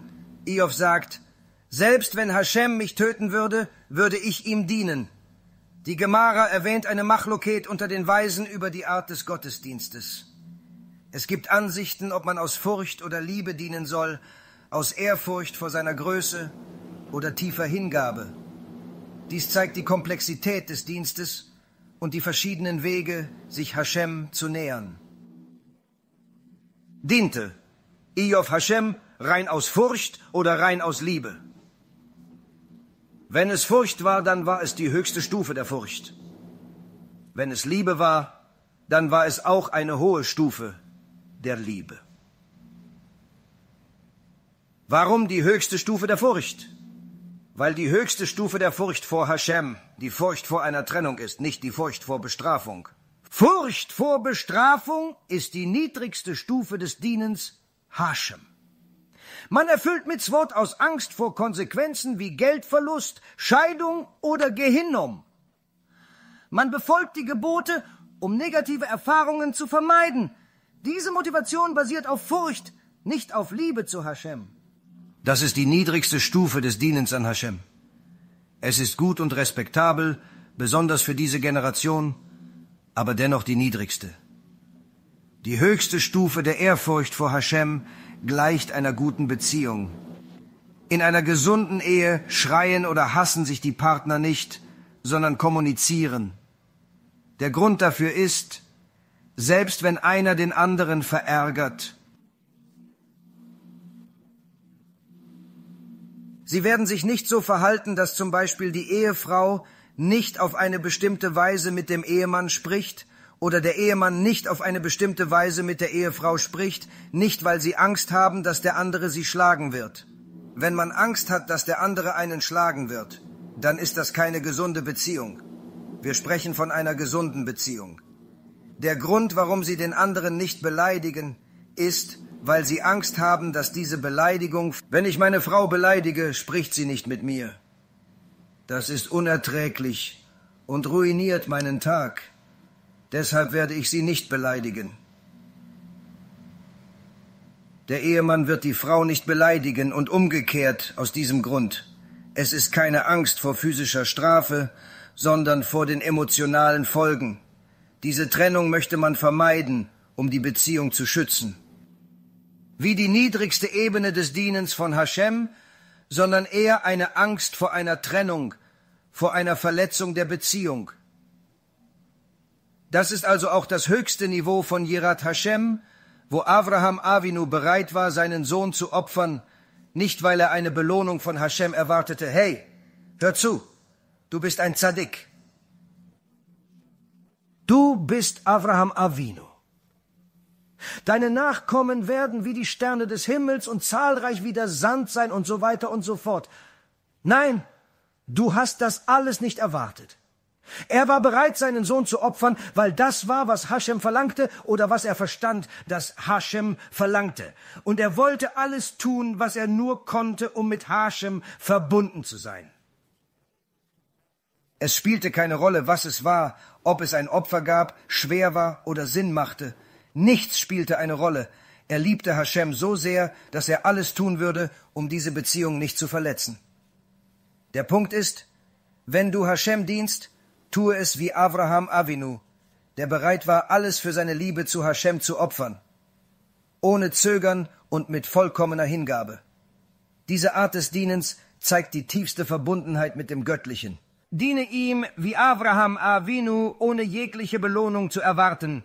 Das ist wahrlich die höchste Stufe des Dienstes. Selbst wenn er dich töten würde, würdest du ihm weiterhin dienen, wie Iof es ausdrückte. Warum? Weil es die ideale, die vollkommenste Stufe ist. Es ist vergleichbar mit einem Vater, der zwei Söhne hat und sie unterschiedlich behandelt. Und einer von ihnen liebt den Vater wirklich sehr. Jedes Mal, wenn der Vater auch nur andeutet, dass er etwas möchte, geht das Kind sofort und holt es. Der Vater möchte einen Kaffee, er läuft und holt ihm einen Kaffee. Der Vater möchte, dass jemand Milch holt, er läuft und holt Milch. Der Vater möchte ein Buch oder eine Zeitung oder dies oder das, er läuft und erledigt alles sofort. Der andere Sohn der Sohn mag den Vater nicht wirklich. Der Vater sagt traurig, ich sehe ihn nicht. Er macht mir keinen Kaffee, wenn ich ihn darum bitte, Schissern. Er bietet dem Sohn fünf Dollar an, wenn er ihm Kaffee holt. Der Sohn stimmt sofort zu, läuft los, holt den Kaffee und sagt, Danke, ich liebe dich, Abba. Aber in Wahrheit liebt er nicht wirklich Abba, sondern nur die fünf Dollar, die er dafür bekommt. aber verlangt stets Bezahlung. Bei der Erbverteilung wird der Vater überlegen, gebe ich es dem, der mich bei jeder Bitte ausnimmt? Jeder Kaffee kostete fünf Dollar. Oder dem Kind, das mich aufrichtig liebt und schätzt? Eine schwierige Entscheidung. Der Vater muss abwägen, wer seine Zuneigung und sein Vertrauen verdient hat. Jede Fahrt kostete 20 Dollar. Alles hatte einen Preis außer Liebestaten. Wem gebe ich mein Erbe? Dem Bezahlten oder dem, der aus Liebe half? Ich liebe meinen Sohn, aber er tat es für Geld. Wer ohne Bezahlung half, verdient mehr. Das unterscheidet Menschen, die für Belohnung handeln, von denen, die aus Zuneigung helfen. Eine schwierige, aber wichtige Entscheidung. Antigonus sagt, tue alles bestmöglich, ohne Kompromisse, Strebe danach, wie Abraham, Avinu, Moshe Rabbeinu und Noach zu sein. Vorbilder der Tugend. Noach war gerecht, vollkommen und mit Hashem innig verbunden. Er war der Größte seiner Zeit, ein Leuchtturm der Moral. Strebe stets nach dem Höchsten in jedem Aspekt deines Lebens. Gib in allem dein Bestes, ohne Ausnahme. Hm, Sie gehen zur Arbeit, um Multimillionär zu werden, nicht für ein einfaches Leben. Jeder glaubt, seine Idee sei die nächste Microsoft oder Google. Das treibt sie täglich an. Napoleon wollte, dass seine Soldaten Kommandeure werden wollen, um sie zu motivieren. Ebenso treibt der Traum vom Erfolg die Menschen an, hart zu arbeiten und nach Größe zu streben. Die Hoffnung auf Reichtum und Anerkennung ist der Treibstoff unserer modernen Arbeitswelt. Jeder Soldat, der nicht Kommandant sein will, ist kein guter Soldat. Du hast die Möglichkeit, der Größte, der Größten zu sein, Antigonus sagt dir, ich habe von meinem Raf, Shimon Hatzadik, dem größten seiner Generation, gelernt. Er war ein Mann von außergewöhnlicher Weisheit, stets umgeben von Propheten. Sogar Alexander der Große kniete vor ihm nieder. Das zeigt dir, welche Höhen erreichbar sind. Alexander der Große, der Mann, der die ganze Welt eroberte, verneigte sich vor ihm auf allen Vieren. Ich habe etwas Erstaunliches von ihm gelernt. Er sagt dir, wenn du Hashem dienen willst, dann geh auf das Ganze und diene ihm aus vollkommener Liebe. Tu es nicht für eine Auszeichnung, sondern weil es richtig ist. Arbeite an deinen Midot und daran, nicht wütend zu sein. Es gibt nie, wirklich nie einen Grund für Wut. Der einzige Grund ist Ga'ava, Stolz. Du denkst, die Welt muss nach deiner Pfeife tanzen, und wenn nicht, bist du wütend. Erkenne, dass dies falsch ist. Arbeite stattdessen daran, dich selbst zu verbessern. Die Gemara bezeichnet das als Götzendienst. Du machst dich zu Avodat Zara, indem du denkst, die Welt sollte nach deinem Takt laufen. Dies macht dich zu einem Minigott, was problematisch ist. Wer sich so verhält, hat keinen Anteil an der kommenden Welt. Jemand, der das versteht, erkennt, Wut ist gefährlich. Ich muss mich bessern. Ich muss wirklich an meiner Wut arbeiten. Warum werde ich wütend, wenn das Baby weint oder meine Frau mich mitten in der Nacht weckt? Warum ärgern mich bestimmte Ereignisse so sehr? Jeder Mensch hat seine Eigenheiten, die ihn stören können. Es gibt so viele Dinge im Leben, die uns verärgern können. Aber die entscheidende Frage ist doch, warum lassen wir uns davon so stark beeinflussen? Warum macht es dich so wütend? Es ist unbegreiflich, wie große Dinge keine Rolle spielen, aber kleine Dinge dich dazu bringen, die Welt zerstören zu wollen, wie Hashem zur Zeit von Noach. Ich sage dir persönlich, vor der Tora Wäre ich Gott, würde ich die Welt täglich zerstören wollen. Jeden Tag würde ich mich über Kleinigkeiten so aufregen, dass ich alles vernichten wollen würde. Dieser Mann kam zu spät. Herr, Sie haben heute eine Million verdient, das ist mir egal.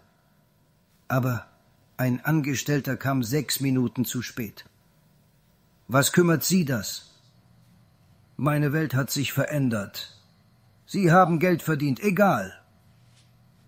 Der Punkt ist, ohne echten Lebenszweck macht man kleine dumme Dinge zum Zweck.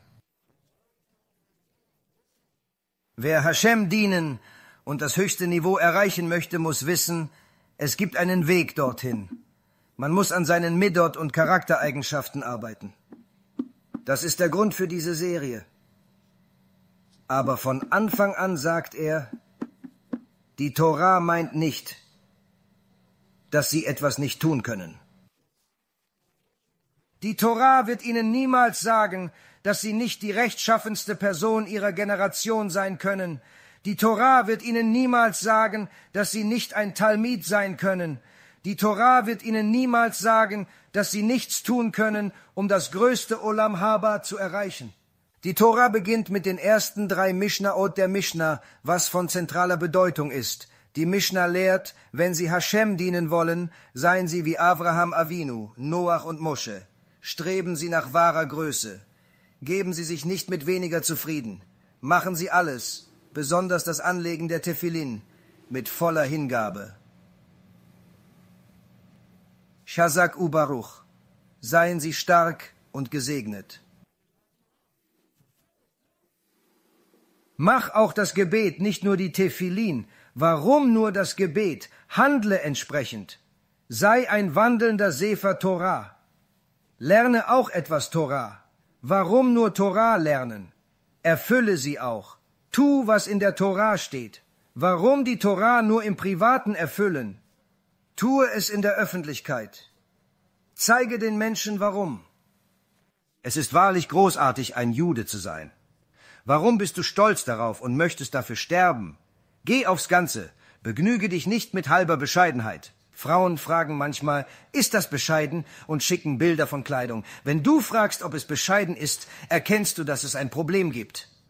Strebe stattdessen nach der höchsten Form von Bescheidenheit und Frömmigkeit. Sei wie unsere großen Vorfahren und diene Hashem mit ganzem Herzen.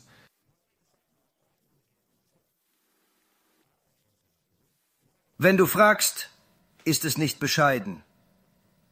Du möchtest es tun, aber willst Bestätigung, dass es in Ordnung ist. Du willst, dass ich es bestätige und stattdessen nach Gehinnom gehe. Niemand will für andere nach Gehinnom. Warum soll ich dafür unterschreiben? Du weißt, ob es bescheiden ist. Dasselbe gilt für Menschen. Ist das ein koscherer Deal Sie schließen einen nicht koscheren Vertrag ab, weder rechtlich noch ethisch. Sie fragen mich, obwohl Sie wissen, dass es nicht koscher ist. Ich sage nicht, dass Sie keine Fragen stellen sollen. Fragen Sie ruhig, so lernt man. Meistens kennen Sie jedoch die Antwort. Ihr Gewissen weiß es. Warum? Weil Ihre Neshama dieselbe Torah studiert hat wie ich, auch im Mutterleib. Wir kennen dieselbe Torah. Sie wissen, was richtig und falsch ist. Jeder weiß, was richtig und falsch ist.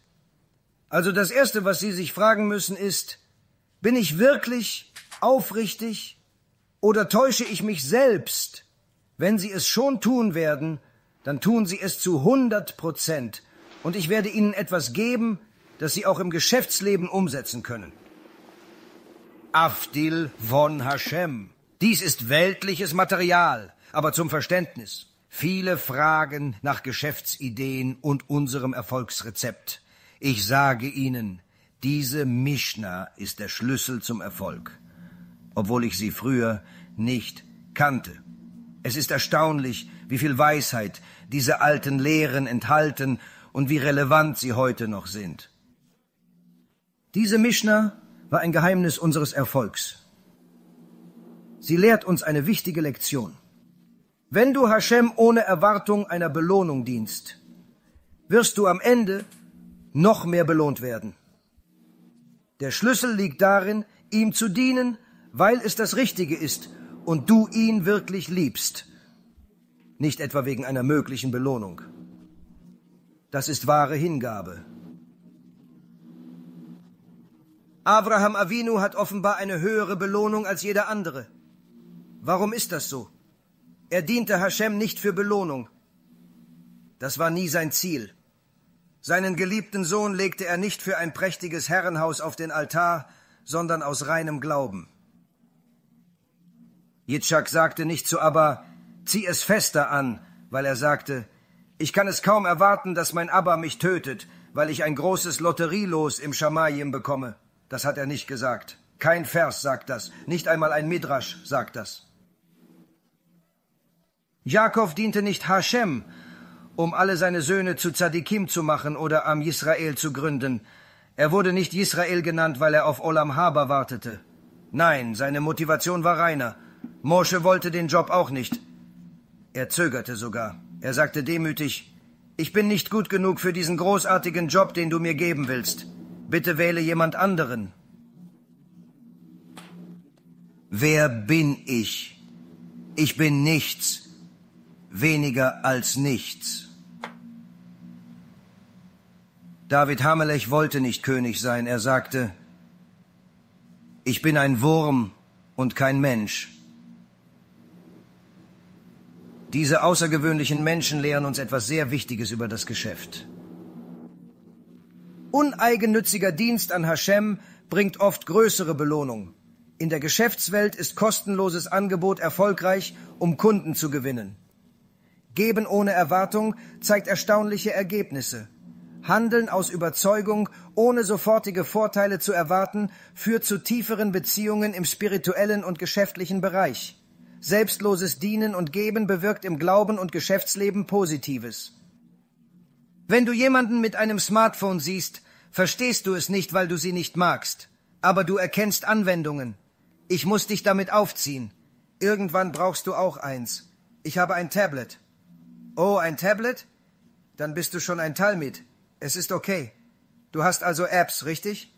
99 Prozent davon sind kostenlos. Es ist erstaunlich, wie viel Technologie uns heute zur Verfügung steht und wie einfach der Zugang dazu ist. Sie erhalten die App kostenlos, doch nach einiger Zeit fragen Sie nach dem Kauf der Vollversion. Warum? Sie möchten Sie durch einen Vorgeschmack überzeugen. Oft ist die kostenlose Version so gut, dass man freiwillig bezahlen möchte. Mir passierte das. Die App war so überzeugend, dass ich trotz Kostenlosigkeit die Premium-Version suchte, in der Hoffnung auf Verbesserungen. Ab und zu passiert es. Ich zeige gerne Wertschätzung für Gutes. Das haben wir an der Wall Street so gemacht. Ich bot Kunden kostenlos verschiedene Dinge an.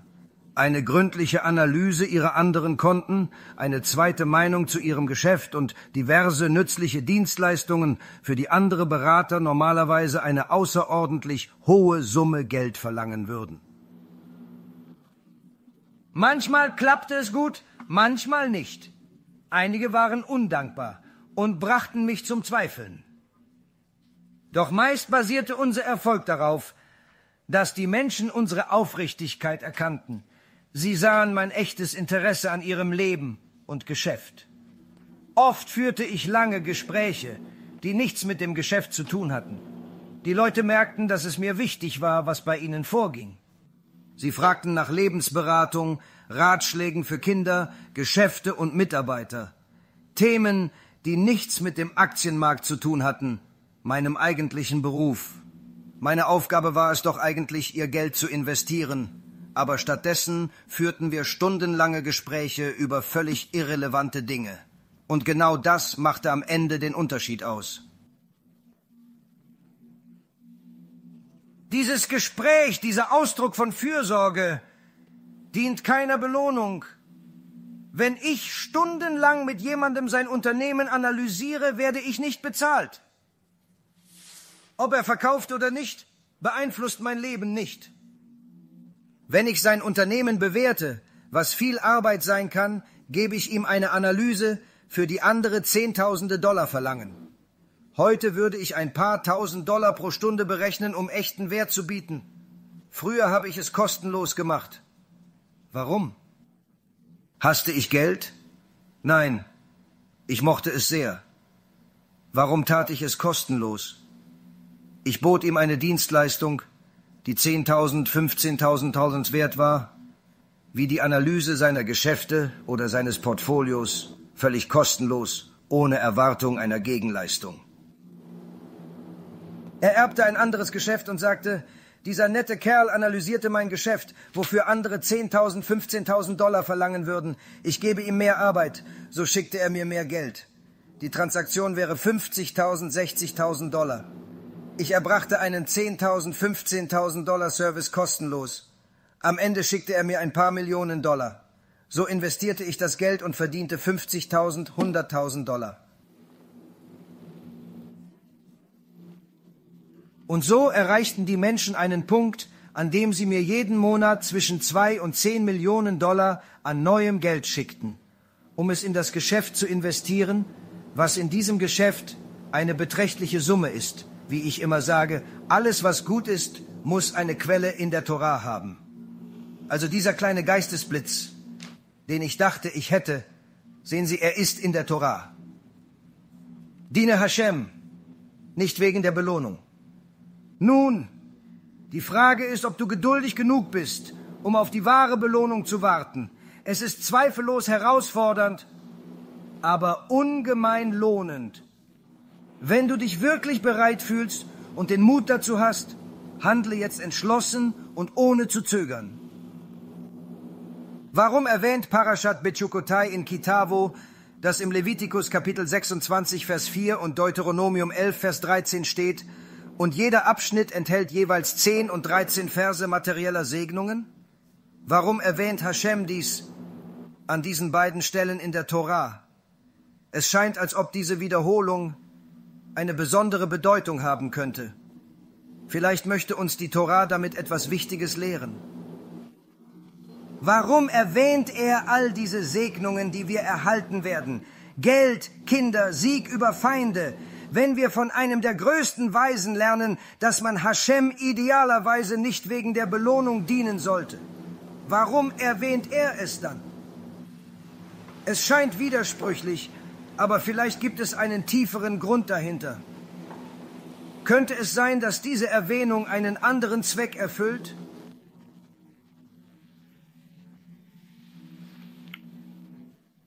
Nein, Fidel, was denkst du? Warum erwähnt die Torah diese Belohnungen, wenn man nicht danach suchen sollte? Ich wusste es nicht, bis ich dieses Sefer studierte. Faszinierend, wie tief die Weisheit der Torah reicht. Ich gebe dir Kavod. Du weißt in vielen Bereichen mehr als ich. Nein, nicht wirklich. Wichtig ist, dass wir voneinander lernen und gemeinsam wachsen. Der Rambam, Ramban sagt in Hilchot Teshuva 9.1 etwas wirklich Bahnbrechendes. Alle Belohnungen dieser Welt, alle in der Torah erwähnten Segnungen, sind in Wahrheit nur Mittel zum Zweck, nicht das eigentliche Ziel unseres Dienstes für Hashem. Dies ist eine tiefgründige Einsicht, die unser Verständnis von göttlichem Dienst grundlegend verändert. Es lehrt uns, dass der wahre Lohn jenseits materieller Dinge liegt. Das Material, das Geld, das Gebäude, die Frau, die Kinder. All dies sind nicht deine wahre Belohnung für die Mitzvot, sondern Gottes Zusicherung, dass die nötigen physischen Bedingungen zur Erfüllung der Gebote bereitgestellt werden. Es ist göttliche Unterstützung auf unserer spirituellen Reise und eine Ermutigung, unsere höhere Bestimmung zu erfüllen.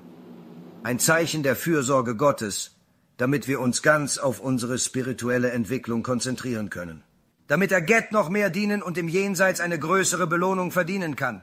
Das bedeutet, man erfüllt eine Mitzwa, man gibt Maasa, gibt zehn Prozent. Es ist ein Weg der Heiligung und des spirituellen Wachstums. Durch diese Handlungen nähern wir uns Get an und reinigen unsere Seele. Du gibst es für Zikui Harabim, Kiruf und Talmidei Chachamim zum Torah lernen. Du handelst effektiv. Hashem verspricht, ich werde dich reich machen. Er sagt, Aser te Aser. Er macht dich nicht reich als Belohnung für dein Maase.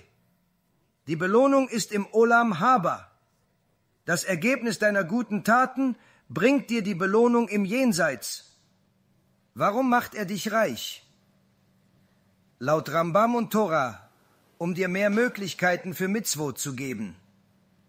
Weil du eine Mitzwa gemacht und seinen Geboten gefolgt bist, gibt er dir die Chance für weitere gute Werke. Es heißt, jede Mitzwa führt zu einer anderen Mitzwa. Hashem sagt, du hast eine Mitzwa erfüllt?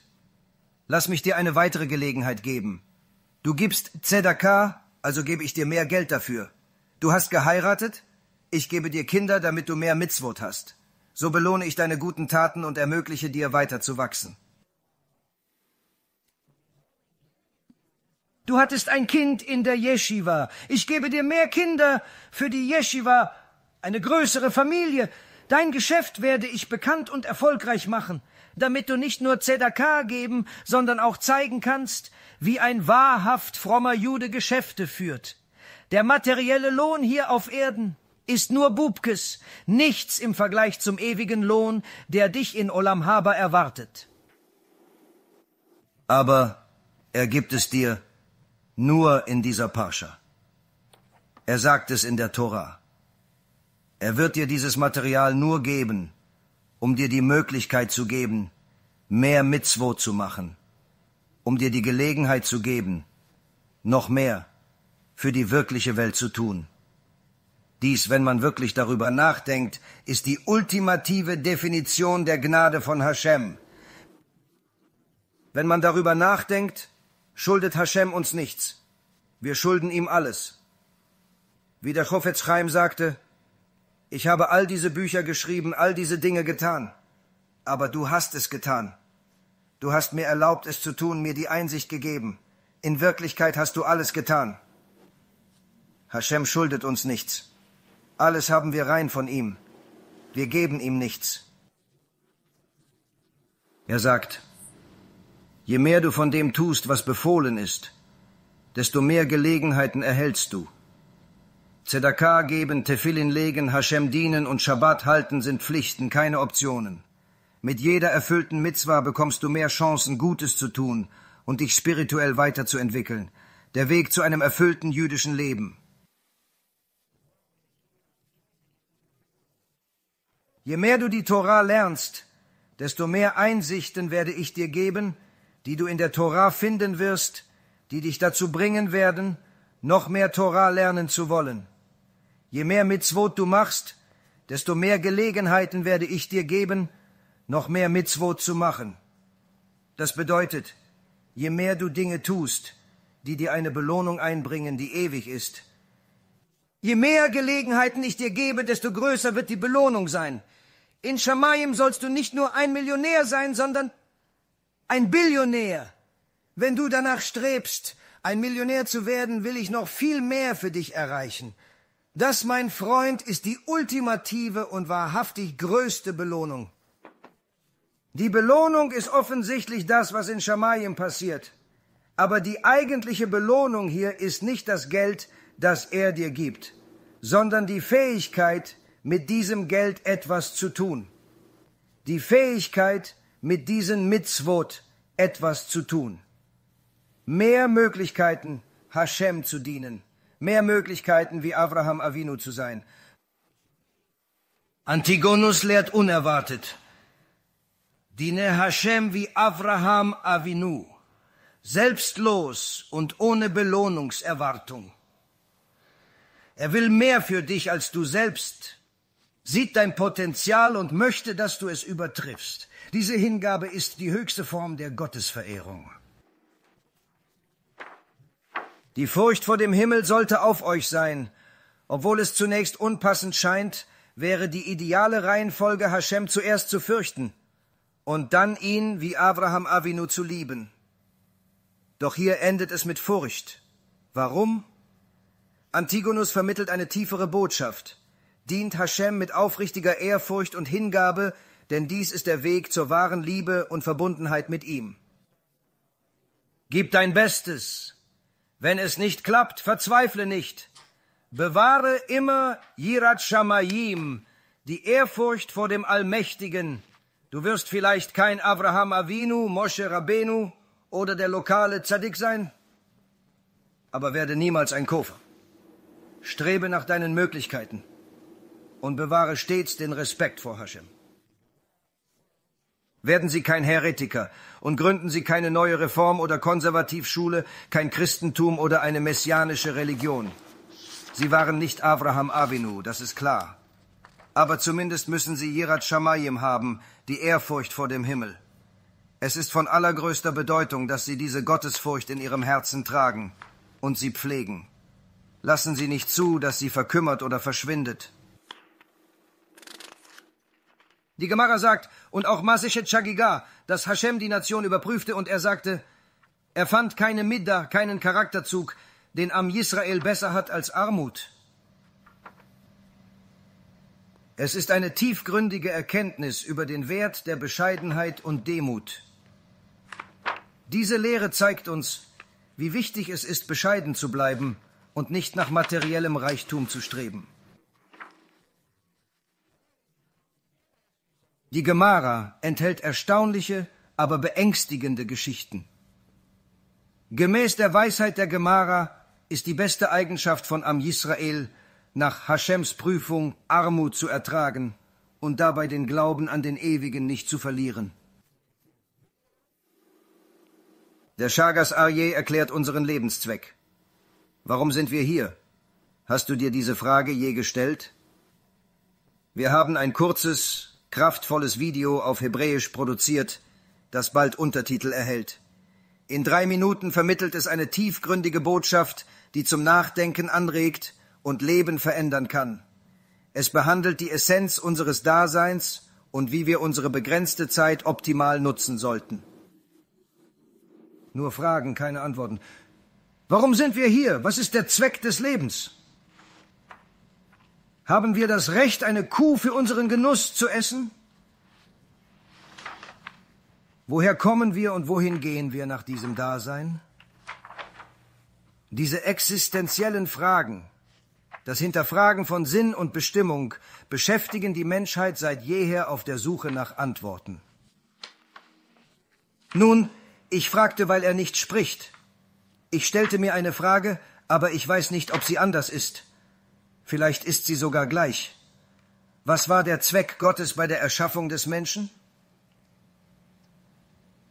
Das ist eine Frage, die zu dem passt, was ich sagte. Hatte Gott wirklich im Sinn, den Menschen zu erschaffen? Es ist eine tiefgründige Frage, über die man nachdenken sollte. All diese Sünde geschehen wird. Okay, Hashem ist gut und wollte Gutes schaffen, also schuf er den Menschen, um ihm Gutes zu tun. Was ist also mit dem Verhalten? Gut, aber der Mensch hat die Möglichkeit, gerecht oder böse zu sein. Wenn er gerecht ist, wird er dafür belohnt, dass er gerecht ist. Wenn er böse ist, wird er dafür bestraft, dass er böse ist.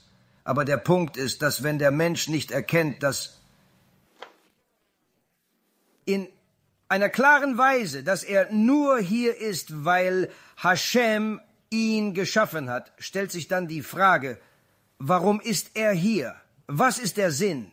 Richtig, also wenn du keinen Gott hast, wenn du nicht an Gott glaubst, was ist dann der Sinn deines Lebens? Warum bist du hier? Warum bist du in die Welt gekommen?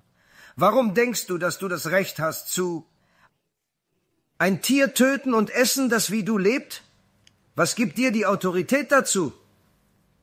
Nur weil du eine Waffe hast? Was berechtigt dich, einen Fisch zu töten? Es gibt viele ethische Fragen zur Tötung von Lebewesen. Die Realität zeigt jedoch, dass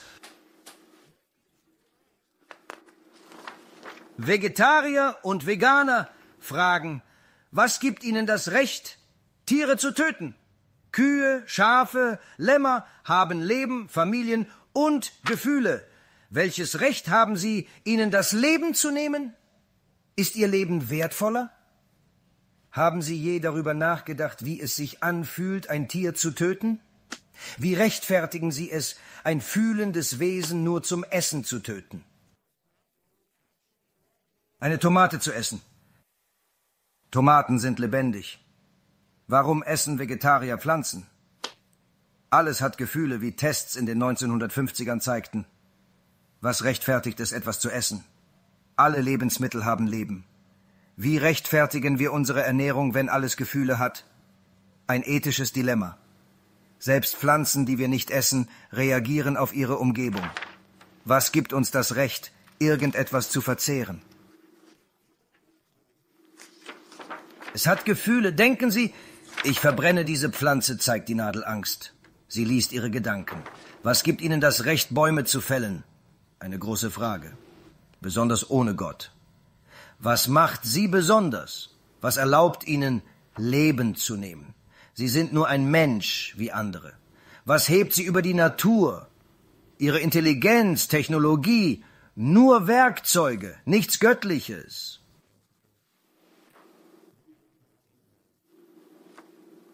Was ist der Sinn deines Lebens? Warum bist du aufgebracht, wenn jemand stirbt?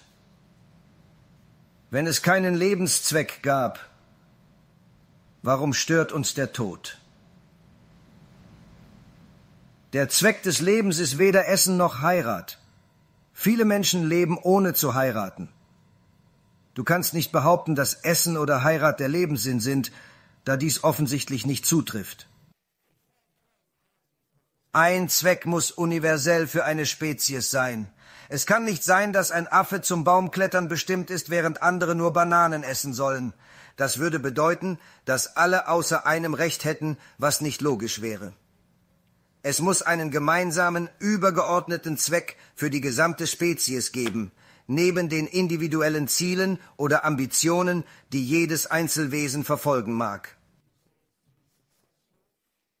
Wenn die Menschheit einen Zweck hat, muss es ein universeller Zweck sein und dann unabhängige Ambitionen. Also, wenn es, wie die Atheisten sagen, keinen Gott gibt, was ist dann der Zweck? Nun, wenn Sie sagen, es ist zu heiraten, dann kann es offensichtlich nicht sein, weil viele Menschen nicht heiraten. Wenn Sie sagen, es ist Kinder zu haben, die gleiche Antwort ist, dass viele Menschen keine Kinder haben. Wenn Sie sagen, es ist erfolgreich zu sein, Viele Menschen haben keinen Erfolg. Tatsächlich, wie wir in früheren Vorträgen gesagt haben, wenn sie über 300.000 Dollars im Jahr verdienen, gehören sie zu den obersten 1% der Einkommensverdiener im gesamten Universum von 7,6 Milliarden Menschen. 300.000 Dollars ist nicht so viel Geld. Ja, es ist viel Geld. Reich sind für uns Leute wie Donald Trump oder Hillary Clinton mit Millionen. Das ist echtes Vermögen, nicht 300.000 Dollars. Ein Anwalt mag so viel im Jahr verdienen, aber das macht ihn nicht reich. Wahre Reiche haben unvorstellbare Summen. Reichtum bedeutet für uns mehr als nur ein hohes Jahresgehalt. In New York berechnet jeder dein 1000 Dollars pro Stunde, in Florida vielleicht 10 Prozent davon. Es kann nicht nur um Geld, Essen oder den Aufbau eines Unternehmens gehen. Diese Dinge enden. Es muss um etwas Tieferes gehen. Wenn ein Unternehmen pleite geht, bedeutet das nicht, dass es keinen Zweck hatte. Der Sinn des Lebens kann nicht nur in vergänglichen Dingen liegen. Es muss etwas Bedeutenderes sein, das über materielle Ziele hinausgeht. Nicht die ganze Menschheit gehört zu ihrer Gesellschaft, das ist wahr. Man muss sich fragen, was ist der Zweck des Lebens? Wenn es darum geht, nett zu sein und ein guter Mensch, wie manche Leute sagen, besonders die junge Generation, dann ist der Sinn, gut zu sein und Gutes zu tun. Aber was bedeutet gut genau? Wer bestimmt, was als gut gilt? Gut für dich kann schlecht für mich sein. Du siehst es als gut an, Juden zu töten. Ich hingegen finde es gut, wenn du keine Juden tötest. Dein Gut und mein Gut stehen im direkten Konflikt. Es kann nicht unser Zweck sein, einen universellen Zweck zu verfolgen, denn wir brauchen einen gemeinsamen, von beiden Seiten akzeptierten Zweck, der Frieden und Verständigung fördert. Es können keine Gegensätze sein, die eine Hälfte sagt ja, die andere nein, doch wir sind eine Spezies. Gut kann nicht von Menschen nach ihrer Agenda definiert werden, das führt zu Subjektivität und Konflikten. Gut kann nur vom Schöpfer definiert werden, der uns erschuf. Seine Definition ist universell und beständig. So haben wir eine einheitliche Vorstellung von Gut und Böse. Dies ist entscheidend für unser Zusammenleben und unsere moralische Ausrichtung als Menschheit. Hashem kennt den Zweck der Welt und bestimmt Gut und Böse. Koscheres Essen ist universell gut. Wir folgen den Gesetzen der Tora, die unseren Alltag strukturieren. So erfüllen wir Hashems Willen, finden Sinn und Erfüllung. Dies ist der Weg, den er für uns vorgesehen hat. Das Ziel, Gutes zu tun, ist unerreichbar ohne gültige Definition. Ohne Glauben an einen Schöpfer bleibt dies unmöglich, da Gut und Böse subjektiv sind. Eine einheitliche Definition fehlt, weil jeder Mensch Gut anders bestimmt. Nur der Schöpfer selbst kann Gutes definieren. Der Zweck des Lebens. Eine wichtige Frage für jeden. Warum weinen wir beim Tod, wenn es keinen Zweck gibt? Atheisten sagen, der Mensch werde zu Erde, doch warum trauern wir dann? Der Verstorbene hatte angeblich keinen Zweck, wie ein nutzloser Hemdknopf. Wir trauern, weil tief in uns der Glaube an einen höheren Sinn und ein Leben nach dem Tod verwurzelt ist.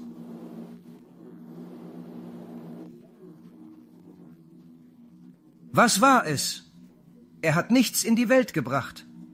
Warum bist du so aufgebracht? Das ist der Grund, warum Menschen im Hospiz oft religiös werden, Sie erkennen, dass ihr Leben sinnlos war. Ihre Taten erscheinen bedeutungslos. Sie suchen verzweifelt nach etwas, das ihrem Leben Bedeutung verleiht, nach einem Sinn für ihre Existenz. In letzten Momenten wird ihnen die Vergänglichkeit bewusst.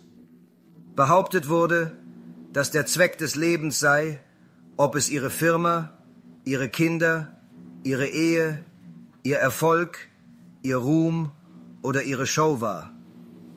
All diese materiellen Dinge sind in Wirklichkeit wertlos, weil sie nichts davon mitnehmen können, wohin sie als nächstes gehen.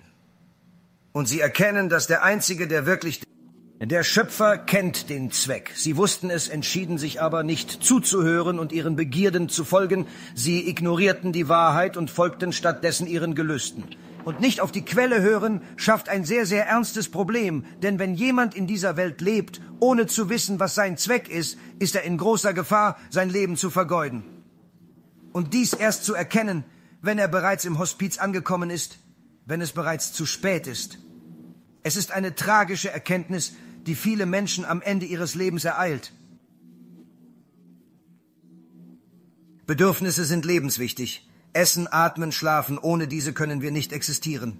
Wünsche wie Autoreisen, Berühmtheit sind nicht lebensnotwendig, machen das Leben aber angenehmer und erfüllter.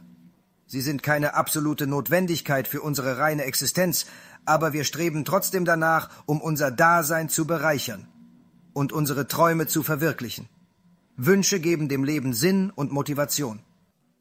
Ich möchte ein schönes Auto, ein großes Haus und viel Geld, so wie viele andere Menschen. Die Leute wollen oft alle möglichen Dinge. Die Realität zeigt jedoch, dass unsere Wünsche keine echten Bedürfnisse sind.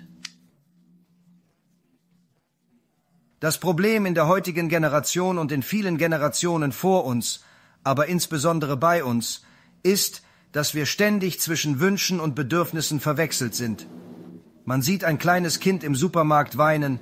Immer, kauf mir das Bonbon, ich brauche es, ich brauche es. Nein, nein, du brauchst es nicht, du willst es. Du brauchst das Bonbon nicht, du willst das Bonbon. Du willst das iPhone nicht, du brauchst das iPhone nicht, du willst das iPhone. Es geht darum, zwischen weltlichen Wünschen und Torah-Geboten zu unterscheiden. Im Gemara heißt es, Hashem fand nur grenzenlose Geduld bei der Welterschaffung. Dies lehrt uns die tiefgreifende Bedeutung von Selbstbeherrschung, Ausdauer und Geduld. Eigenschaften, die wir unbedingt kultivieren sollten, um wahrhaftig nach den Lehren der Torah zu leben und uns spirituell weiterzuentwickeln. Eine Charaktereigenschaft, besser als Armut in Am Yisrael. Chazal lehren uns, Hashem möchte, dass wir gerecht sind und unser volles Potenzial erreichen. Er kennt jedoch unsere menschlichen Begierden. Wir haben den Yetzahara, wie wir in Parashat Noach lernen, gegen den wir täglich ankämpfen müssen. Es ist ein ständiger Kampf. Hashem hat uns mit einem Yetzahara erschaffen.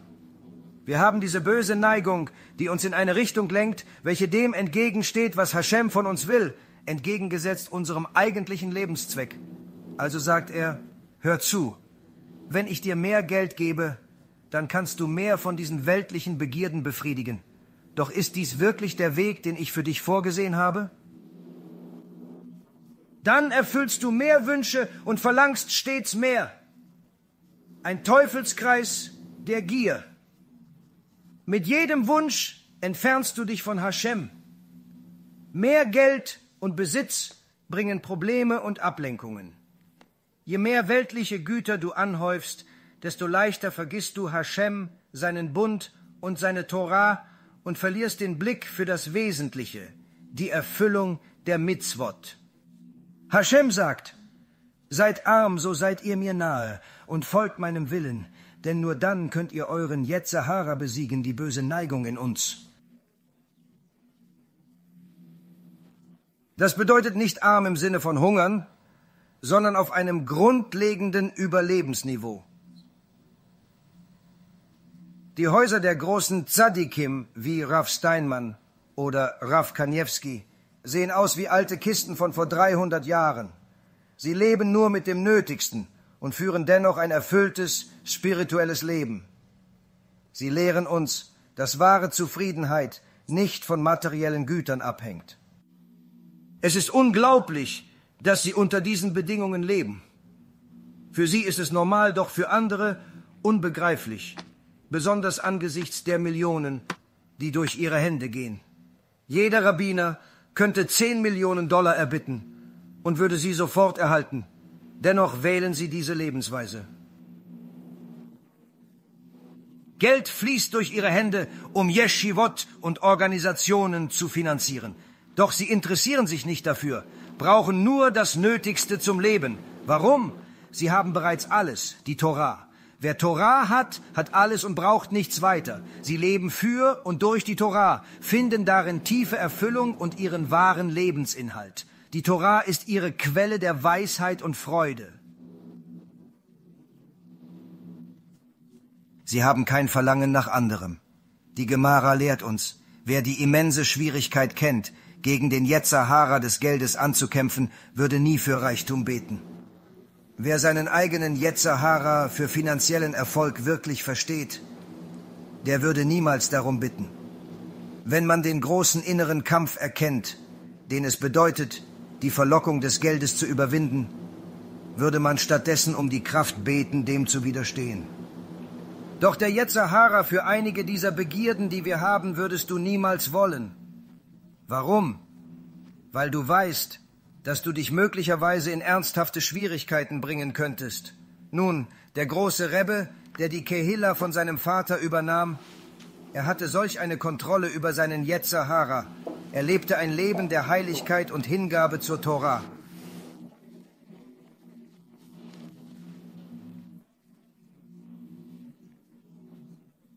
Der Sfat Emet als Chassidim nach der Übernahme dieser Kehila kamen, sagten sie, Ihr Vater versprach, dass wir, wenn wir den Hallel-Vers rezitieren, habe ich einen Sidur mitgebracht?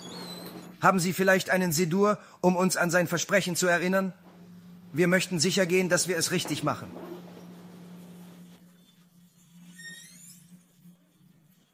Dein Vater versprach, dass wir an Rosh Chodesh das Hallel sagen, eines der sieben rabbinischen Mitzvot. Keine Sorge, es ist in Ordnung. Das Hallel zu rezitieren ist eine wichtige Tradition, die unsere Geschichte und unseren Glauben stärkt. Durch das Singen erinnern wir uns an die Wunder des Ewigen und drücken unsere Dankbarkeit aus.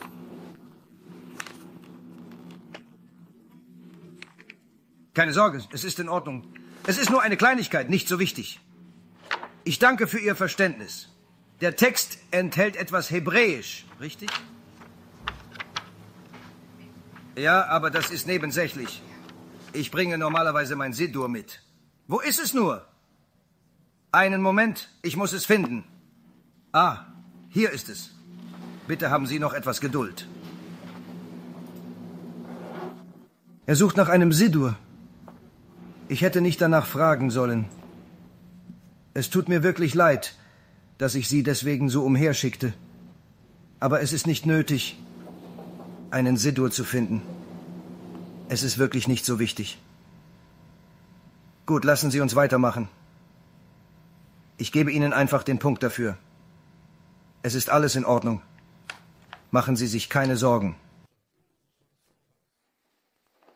Die Kehila kommt zum Gera Rebbe und sagt, Vater Rav, dein Vater hat uns versprochen, wenn wir im Hallel Ana Hashem mit viel Kavanah sagen und unsere Herzen öffnen, werden unsere Gebete erhört und Segen kommt auf uns herab. Wir haben das treu befolgt, Tag für Tag, mit großer Hingabe. Doch sehen wir keine Veränderung in unserem Leben. Was machen wir falsch, Rebbe? Wie können wir den versprochenen Segen erlangen? Das bedeutet, rette uns, Hashem. Dann werden unsere Gebete erhört. Aber es funktioniert einfach nicht. Wir haben es mehrmals überprüft und immer wieder versucht, mit ganzem Herzen getan. Trotzdem funktioniert es nicht, obwohl wir inbrünstig zu Hashem beten. Es ist so frustrierend und entmutigend. Wir fühlen uns hilflos und wissen nicht, was wir noch tun können. Der Rabbi fragt nachdenklich, welches Anna meinst du genau? Ich, etwas verwirrt. Was meinst du damit? Er erklärt, Anna Hashem Hoshiana vielleicht? Dann kopfschüttelnd, nein, das meinte er sicher nicht. Nach einer bedeutungsvollen Pause, er meinte Anna Hashem Ani Avdesha. Das ist ein viel tieferes, innigeres Gebet. Welches im Psalm 116 steht, der auch im Hallel enthalten ist. Es kommt vor dem Anna Hashem Hoshiana, Hashem rette uns. Bevor es heißt, Hashem rette uns, steht dort Anna Hashem Ani Avdecha, hilf mir Hashem, ich bin dein Diener. Das bedeutet, dass Hashem bereitstellt und für uns sorgt. Wir müssen uns ihm als Diener hingeben, bevor wir um Rettung bitten. Dies zeigt uns die richtige Reihenfolge. Zuerst Demut und Hingabe, dann erst die Bitte um Hilfe. Er rettet die Menschen, die sich als seine wahren Diener bezeichnen. Bevor du also beginnst, Hashem zu bitten, dich zu retten, frage dich zuerst, bist du wirklich ein Diener? Dienst du Hashem wirklich so, wie du es sollst? Oder tust du alles nur wegen der Belohnung? Und wenn du alles nur wegen der Belohnung tust, dann ist das nicht genau dein volles Potenzial. Verstehen.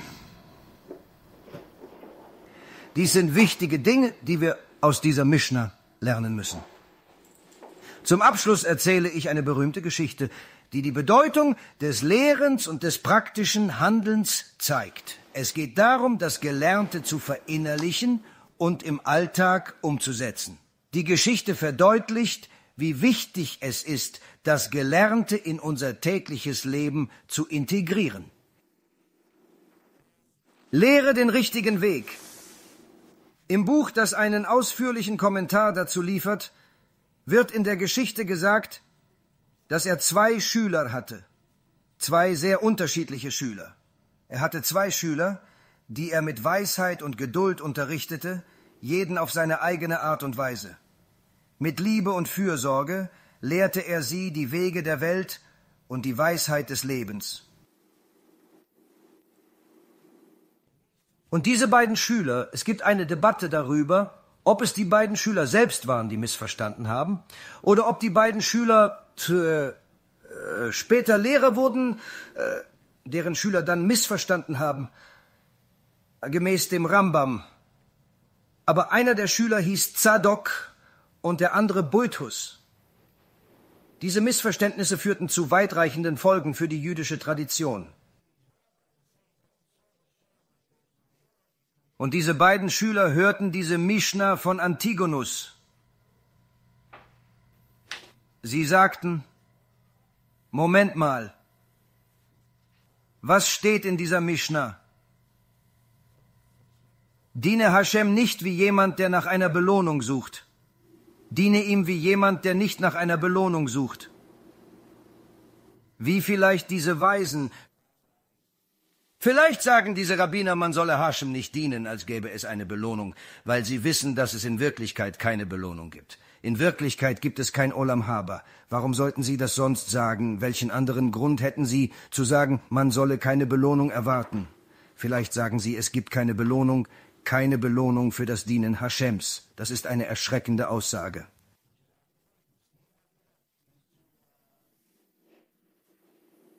Diese beiden klärten die Sache nicht mit dem Rabbi. Stattdessen wurden sie zu Heretikern und gründeten zwei Bewegungen. Die Sadduzäer benannt nach Zadok und die Boetusianer nach Boetus. Beide Gruppen lehnten die mündliche Überlieferung ab, interpretierten die Tora eigenständig und folgten nicht der Tradition der Shachamim. Dies führte zu einer tiefen Spaltung im Judentum. Ihr Hauptanliegen richtet sich gegen die mündliche Torah und die Rabbiner. Sie sagten, die schriftliche Torah akzeptieren wir, aber nicht die mündliche. Dort steht, diene Hashem nicht für eine Belohnung. Wenn man Hashem nicht für eine Belohnung dient, gibt es wohl keine. Das Ganze ist also gefälscht. Die Rabbiner wissen nicht, wovon sie sprechen. Sie argumentieren, dass diese Aussage keinen Sinn ergibt und die mündliche Überlieferung in Frage stellt. Dies ist sehr, sehr wichtig, um uns eine wertvolle Lektion zu lehren. Für jeden, der lehrt, sei es jemand, der sich selbst unterrichtet oder jemand, der andere unterrichtet. Die Kraft deines Wortes ist viel bedeutender, als du dir vorstellen kannst. Die Kraft deiner Handlungen ist viel bedeutender, als du dir vorstellen kannst. In Parashat Noach lernen wir, dass Hashem Noach ein Zeichen gab, um ihn zu führen und zu leiten. Das Zeichen war, ich werde die Welt nicht zerstören, und als Zeichen werde ich diesen Regenbogen setzen. Weniger als 350 Jahre später wird der Turm zu Babel von einer Gruppe böser Menschen gebaut, die versuchen, ein Gebäude zu errichten, das gegen Gott kämpfen soll. Und Hashem sagt, da sie Einheit haben, auch wenn sie böse sind, werden sie erfolgreich sein. Sie schaden sich nicht gegenseitig. Die Macht der Einheit liegt darin, dass Hashem Vereinte nicht bestraft. Obwohl Araber durch Terrorismus einen großen Teil der Welt beherrschen, sollten sie aufgrund ihrer Zahl eigentlich die ganze Welt beherrschen. Der Grund dafür ist, dass sie die Welt tatsächlich wörtlich beherrschen sollten. Sie haben zwei Milliarden Menschen und viel Geld, beherrschen die Welt aber nicht, weil ihnen Einheit fehlt. Es ist Hashems Gnade, dass sie keine Einheit haben. Gleiches gilt für Am Yisrael, Li Havdil. Mit Einheit würden wir trotz geringer Zahl die Welt beherrschen. Die Macht der Einheit ist wirklich außergewöhnlich und unvorstellbar stark. Hashem sagt uns daher. Diese Menschen beim Turm von Babel hatten Einheit, daher habe ich sie nicht zerstört. Um weitere Sünden zu verhindern, schuf ich siebzig Sprachen. Zuvor gab es nur die heilige hebräische Sprache als universelle Weltsprache.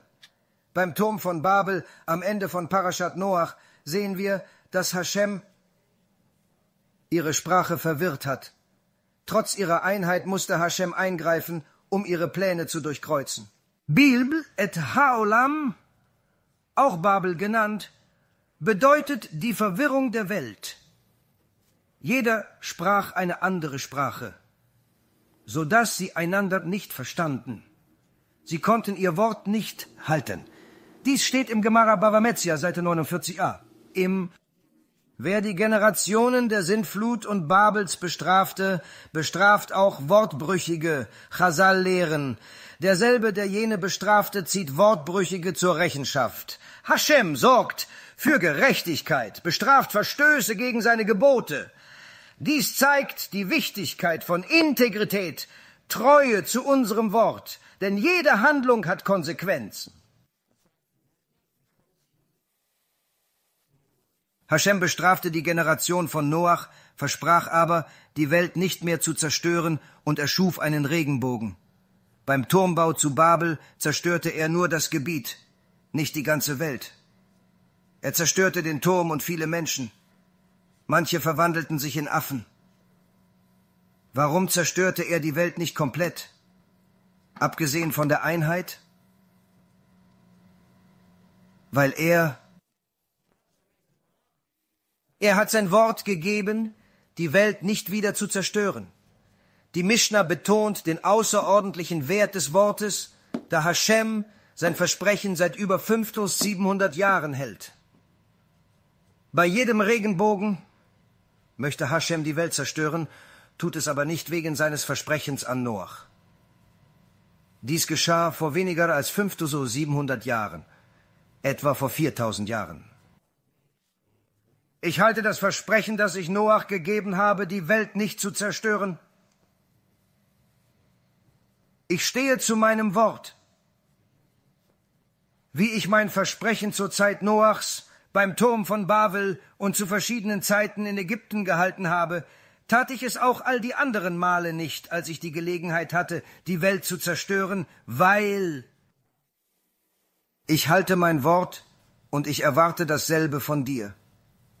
Wenn jemand eine Vereinbarung trifft und sein Wort nicht hält, sagt die Gemara, dass du nicht nur gegen Menschen, sondern auch gegen Gott handelst, weil du seinem Wesen widersprichst.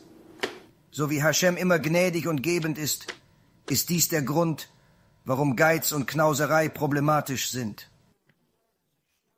Wird bestraft, weil es das Gegenteil von Gott ist. Hashem gibt immer und nimmt nie Geiz ist das absolute Gegenteil davon. Gleiches gilt für jemanden, der sein Wort nicht hält oder Versprechen bricht. Ein gebrochenes Versprechen widerspricht fundamental Hashems Handeln über all die Jahre hinweg. Es ist das komplette Gegenteil von dem, was Hashem stets getan hat und immer tun wird. Der Wert deines Wortes ist außergewöhnlich. Antigonus betont dessen Wichtigkeit. Shimon hat Sadiks Lehren weisen zum Erfolg. Diene Hashem, folge Vorbildern, habe Yirat Shamayim. So verstehst du die Mishnah. Shimon Hatzadik verrät uns das Geheimnis des ultimativen Erfolgs. Wenn du dich entschließt, dann verehre Hashem, sei ein Diener von Hashem, sei wie Abraham Avinu, Yitzchak, Jakob, Moshe, der Gadol Hador, sei wie jemand Großes. Aber zumindest habe etwas Yirat Shamayim. Das ist, wenn du die Mishnah richtig verstehst. Wenn Sie die Mishnah nicht richtig verstehen, wenn das Ihnen beigebrachte Wort falsch war, wenn der Lehrer zu ängstlich war, Ihnen die Wahrheit zu sagen, wenn man nur einige Teile kennen möchte, dann Schass für Shalom kann jemand wie die Sadduzäer werden und schließlich ein vollständiger Kofer werden. Sie sagen, der einzige Grund, warum in dieser Mishnah steht, man soll Hashem nicht für eine Belohnung dienen, ist, dass es keine Belohnung gibt. Und wenn es keine Belohnung gibt, dann gibt es keinen Grund, all das zu tun, was mit den Christen passiert ist. Sie sagen, man diene Hashem, ohne etwas zu tun.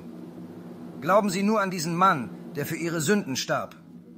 Sie können tun, was Sie wollen unbescheiden, geizig oder sogar ein Mörder sein. Es spielt keine Rolle. Solange sie an ihn glauben, ist angeblich alles gut. Das ist völliger Unsinn und widerspricht der Torah fundamental. Es ist eine gefährliche Lehre, die die wahren Gebote Hashems ignoriert. Die Menschen haben kein Verständnis, um zum Abschluss zu kommen. Letzter Punkt. Ich werde Ihnen eine Geschichte erzählen, die ich heute gehört habe. Die Menschen haben kein volles Verständnis für die Größe der Weisen, die in dieser Mishnah erwähnt werden. Wie ich zu Beginn dieses Shiurs erwähnte, konnte jeder dieser Menschen die Toten wieder zum Leben erwecken. Was die Leute diesem J.C. Penny-Typen zuschreiben, ist unbedeutend. Selbst wenn er jemanden von den Toten auferweckt hätte, wäre es keine große Sache. Jede Person in der Gemara hat Ähnliches getan. Es gibt eine Geschichte über Rabbi Jochanan, der zwei Neffen hatte. Diese Taten sind in der jüdischen Tradition nichts Außergewöhnliches. Sie kamen zur Yeshiva, beide stumm geboren.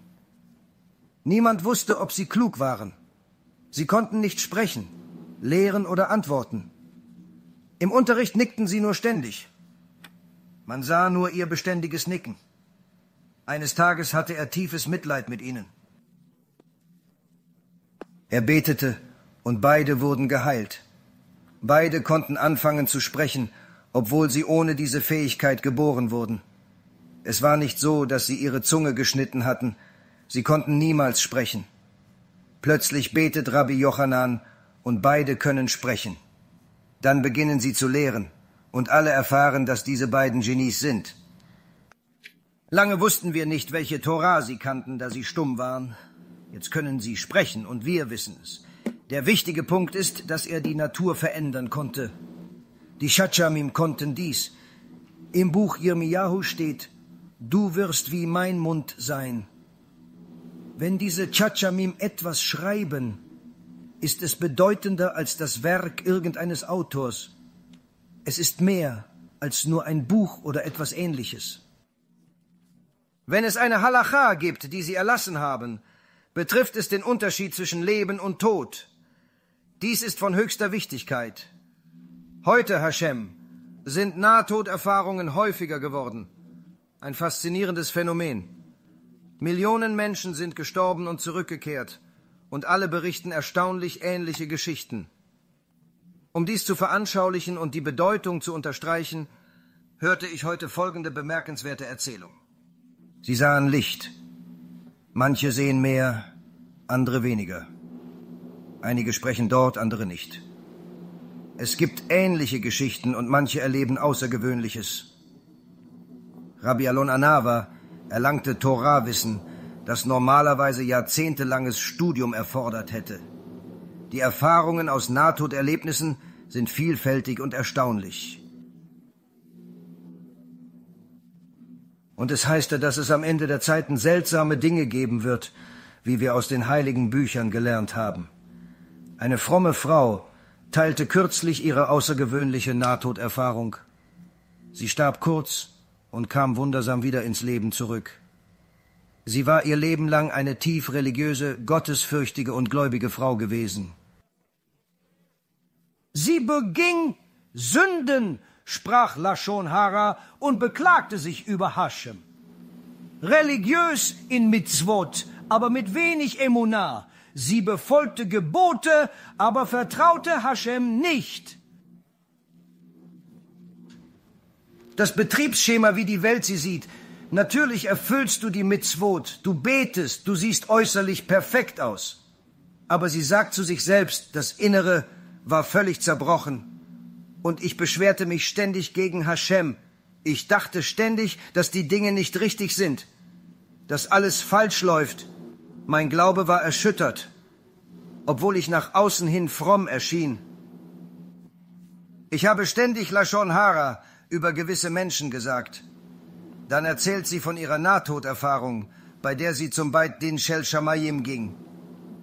Ich werde nicht die ganze Geschichte durchgehen, aber der Punkt ist, dass sie dort ankam und der Dayan, das Beit Din Shel Shamayim, sie empfing und ihr Urteil fällte.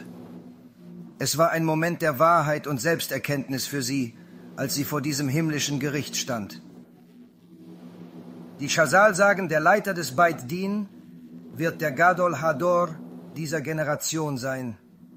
Es wird drei Dayanim geben, wobei der Kopf die höchste Neshama ist. Sie sah einen Dayan, dessen Namen sie nicht nannte, da sie sein Wesen kannte. Sie erkannte seine Bedeutung als führende Autorität schwieg aber darüber und benannte ihn nicht weiter. Dann sah sie Raf Ovadia Yosef. Der andere Dayan sagte, sie weinte heftig und durchlebte ihr Leben erneut. Sie schämte sich zutiefst und wünschte sich, trotz ihrer Frömmigkeit, Schlimmeres als den Tod für diese Schande. Die Last ihrer Taten drückte schwer auf sie.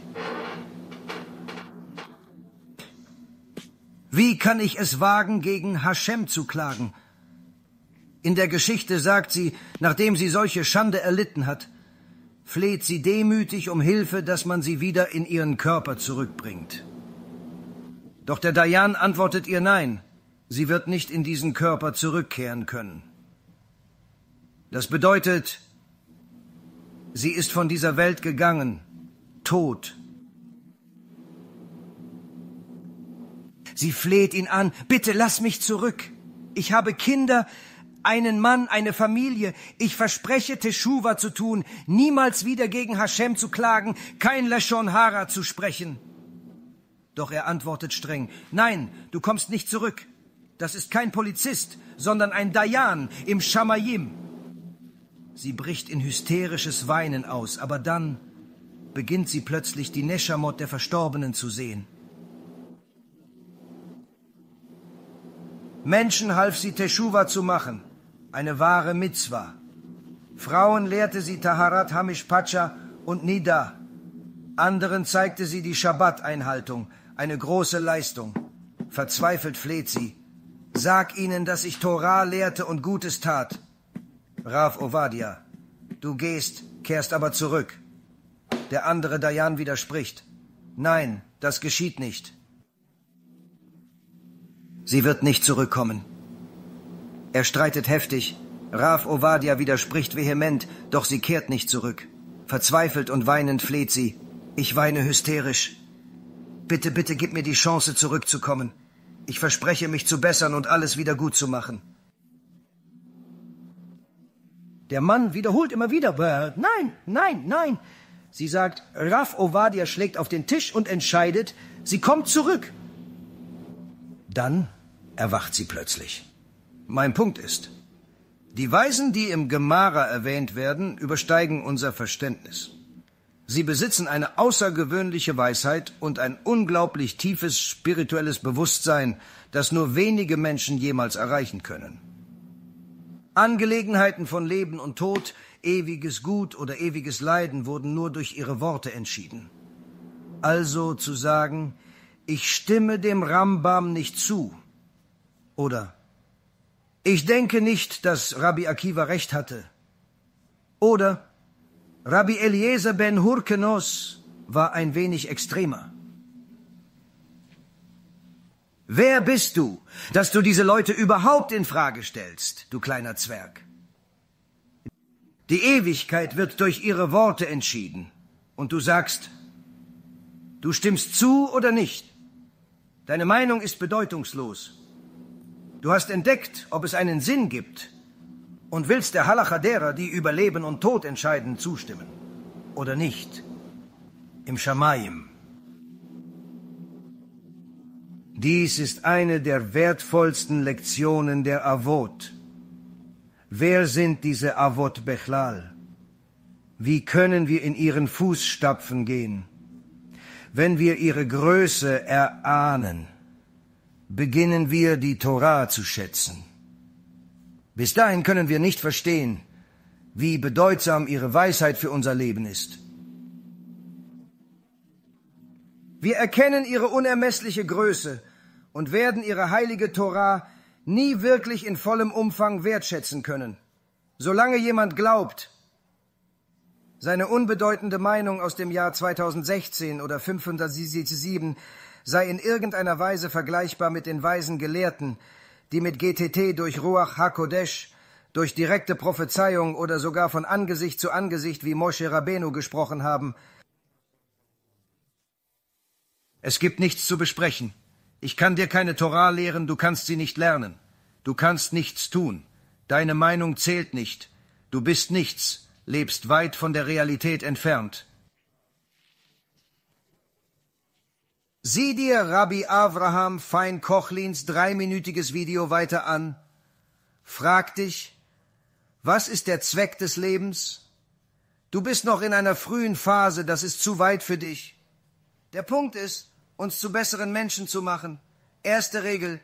Beginne deinen Tag mit Dankbarkeit. Fragen. Ich habe eine Frage zur Parascha, der von gestern, als Sie erklärten, warum. Ich meine über das Gehen und dessen Bedeutung in der Torah. Könnten Sie das bitte näher erläutern? Es war sehr interessant, aber ich habe einige Aspekte nicht ganz verstanden.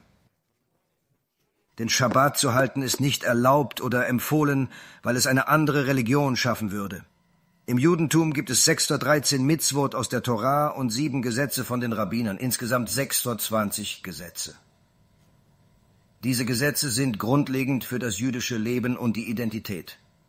Sie zu ändern oder neue hinzuzufügen, würde das Wesen des Judentums verändern.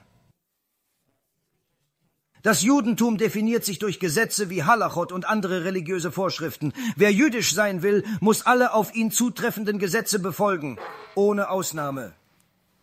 Für Kohanim, Nicht-Kohanim, Frauen und Männer gelten spezifische Gesetze, die je nach Rolle und Stellung variieren. Der fundamentale Grundsatz bleibt unverändert. Um als wahrhaft jüdisch zu gelten, müssen die relevanten Gesetze strikt eingehalten werden. Nun, zu sagen, dass man nur ein Gesetz nehmen und das äh, befolgen kann, ohne die anderen zu beachten, bedeutet im Wesentlichen zu behaupten, äh, dass die Torah unvollständig ist. Sie ist unvollkommen. Man wählt nicht beliebig Teile aus. Über Gut und Böse entscheidet Hashem, nicht wir. Er gab Gesetze, die vollständig zu befolgen sind. Das Judentum definiert sich durch diese Gesetze. Juden müssen alle für sie geltenden Vorschriften einhalten, unabhängig von Status oder Geschlecht. Daher betont Hashem die Einhaltung der Mitzvot. In Exodus, Levitikus, Numeri, Deuteronomium und fast allen Büchern mit Mitzvot sagt er stets, beobachtet meine Gebote. Jedes Mal sagt er, Beobachtet alle meine Gebote, nicht nur einige. Nicht nur Shabbat, Taharat, Hamishpacha und Tefillin, das reicht nicht. Du bist gut. Es liegt an mir, mach dir keine Sorgen. Es ist alles oder nichts. Wenn du die Gebote einhalten willst, musst du alle einhalten. Es ist für manche sehr schwierig, aber du bist trotzdem verpflichtet. Auch wenn du es nicht tust, ist es nicht in Ordnung. Du tust es nicht und wirst dafür bestraft werden. Die Tatsache, dass es schwer ist, entbindet dich nicht von deiner Pflicht. Jedes Gebot hat seinen Zweck. Wenn Sie dazu verpflichtet sind und es nicht tun, werden Sie bestraft. Das ist ernst zu nehmen. Wie ich meinem ersten Schüler in Florida sagte, im ersten Jahr wünschte ich, ich hätte es aufgenommen. Ich sagte ihm ganz klar, hören Sie, ich werde Ihnen immer die ungeschminkte Wahrheit sagen und Sie können dann tun, was Sie für richtig halten. Das heißt, ich werde absolut nichts beschönigen oder verharmlosen. Ich sage dir nicht, was du hören oder tun kannst. Ich sage dir, was Hashem gesagt hat. Mach, was du willst. Ich verurteile dich nicht als gut oder schlecht. Ich sage dir, was du tun musst. Ich wusste, er hält den Schabbat nicht. Also sagte ich ihm gleich, Du darfst am Schabbat nicht fahren und so weiter. Es war eine Überraschung für ihn. Seit 25 Jahren fährt er zur Schule, ohne dass jemand etwas sagte. Ich erklärte ihm, du darfst am Schabbat nicht fahren. Wenn du es tust, ist es dein Problem, aber es ist nicht erlaubt. Im Konversionsprozess spielt es keine Rolle. Wenn Sie am Anfang der Konversion sind, gilt das nicht. Aber wenn Sie planen, bald zu konvertieren, müssen Sie anfangen, den Schabbat fast vollständig einzuhalten. Alles außer einer kleinen Übertretung. Das bedeutet, Sie müssen 99 Prozent des Schabbats befolgen. Das letzte absichtliche Vergehen ist wie das Einschalten eines Lichts, nicht das Fahren. Ein kleines, internes Vergehen. Etwa einen Monat vor der Konversion hältst du 100 Prozent. Ich sagte ihm, ich sage dir, wie es ist. Mach, was du willst. Wenn du am Schabbat fährst, sage ich dir, dass es nicht erlaubt ist. Weiterfahren liegt an dir. Jetzt kennst du die Wahrheit. Jetzt kennen Sie die Wahrheit. Um alle Gesetze der Torah einzuhalten, müssen Sie zum Judentum konvertieren. Es ist nicht möglich, einzelne Mitzvot auszuwählen und andere zu ignorieren. Dies würde bedeuten, dass Sie Ihre eigene Religion erschaffen, was nicht dem wahren Judentum entspricht. Man kann nicht nur bestimmte Mitzvot aus der Torah wählen und andere ablehnen, das ist unzulässig und widerspricht dem Wesen der jüdischen Lehre.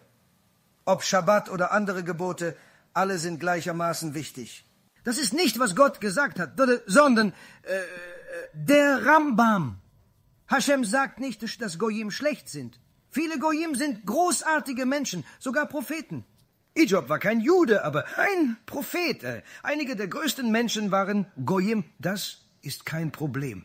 Hashems Botschaft ist, dass wir eine Wahl haben. Ihr könnt Juden sein. Jeder kann ein Jude sein. Jeder könnte Jude sein. Willst du konvertieren, Schabbat halten, koscher leben, alle Mitzvot befolgen? Shazak Ubaruch. Kein Problem. Nur Schabbat halten? Nicht erlaubt. Am Schabbat ruhen ist gestattet. Auch als Nichtjude dürfen sie am Schabbat nicht arbeiten, feiern und eine schöne Mahlzeit haben. Was ihnen als Nichtjude nicht erlaubt ist, ist, Dinge speziell deshalb zu unterlassen, weil es in der Tora steht. Das bedeutet, dass sie nicht absichtlich kein Feuer entzünden dürfen, nur weil es in der Tora steht. Es ist ihnen als Nichtjude nicht erlaubt, auf das Entzünden von Feuer oder die 39 in der Tora verbotenen Melachot zu verzichten, dies würde bedeuten, dass sie ein Gesetz einhalten, das nicht für sie bestimmt ist. Die Torah-Gesetze gelten nur für Juden, nicht für Nichtjuden. Wenn Sie es behalten wollen, behalten Sie alles. Wenn nicht, dann nicht. Sie können am Schabbat feiern, ihn genießen und zu einem Ruhetag machen. Es gibt keinen Zweifel daran. Sie können feiern und es zu einem großartigen Tag machen. Aber den Schabbat können Sie nicht halten. Das bringt mich zu einem anderen Punkt. In dieser Generation habe ich von mindestens zwei Leuten gehört, dass sie den Menschen erzählen, dass Nichtjuden den Schabbat einhalten dürfen. Noachiden dürfen den Schabbat einhalten. Und sie nennen es, sie nennen es mit verschiedenen Namen und im Wesentlichen nennen sie es mit allen möglichen Begriffen und sie verwirren die Öffentlichkeit.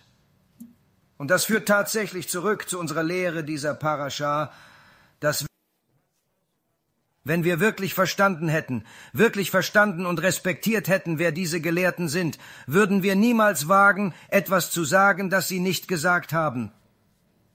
Wir würden es niemals wagen. Niemals. Wenn es nicht in der Mishnah steht, wenn es nicht im Schulchan Aruch steht, wenn es nicht im Gemara steht, wenn es nicht buchstäblich irgendwo in der Torah von einem dieser großen Geister steht, dass ein Nichtjude den Schabbat halten darf. Wer sind Sie, um anderes zu sagen? Das ist unbeabsichtigte Arroganz. Manche zeigen Chesed, um Ausgrenzung zu vermeiden. Echte Freundlichkeit wäre, direkt zur Konversion zu raten. Ehrlichkeit und klare Grenzen sind wichtiger als falsche Hoffnungen. Das verwirrt die Öffentlichkeit.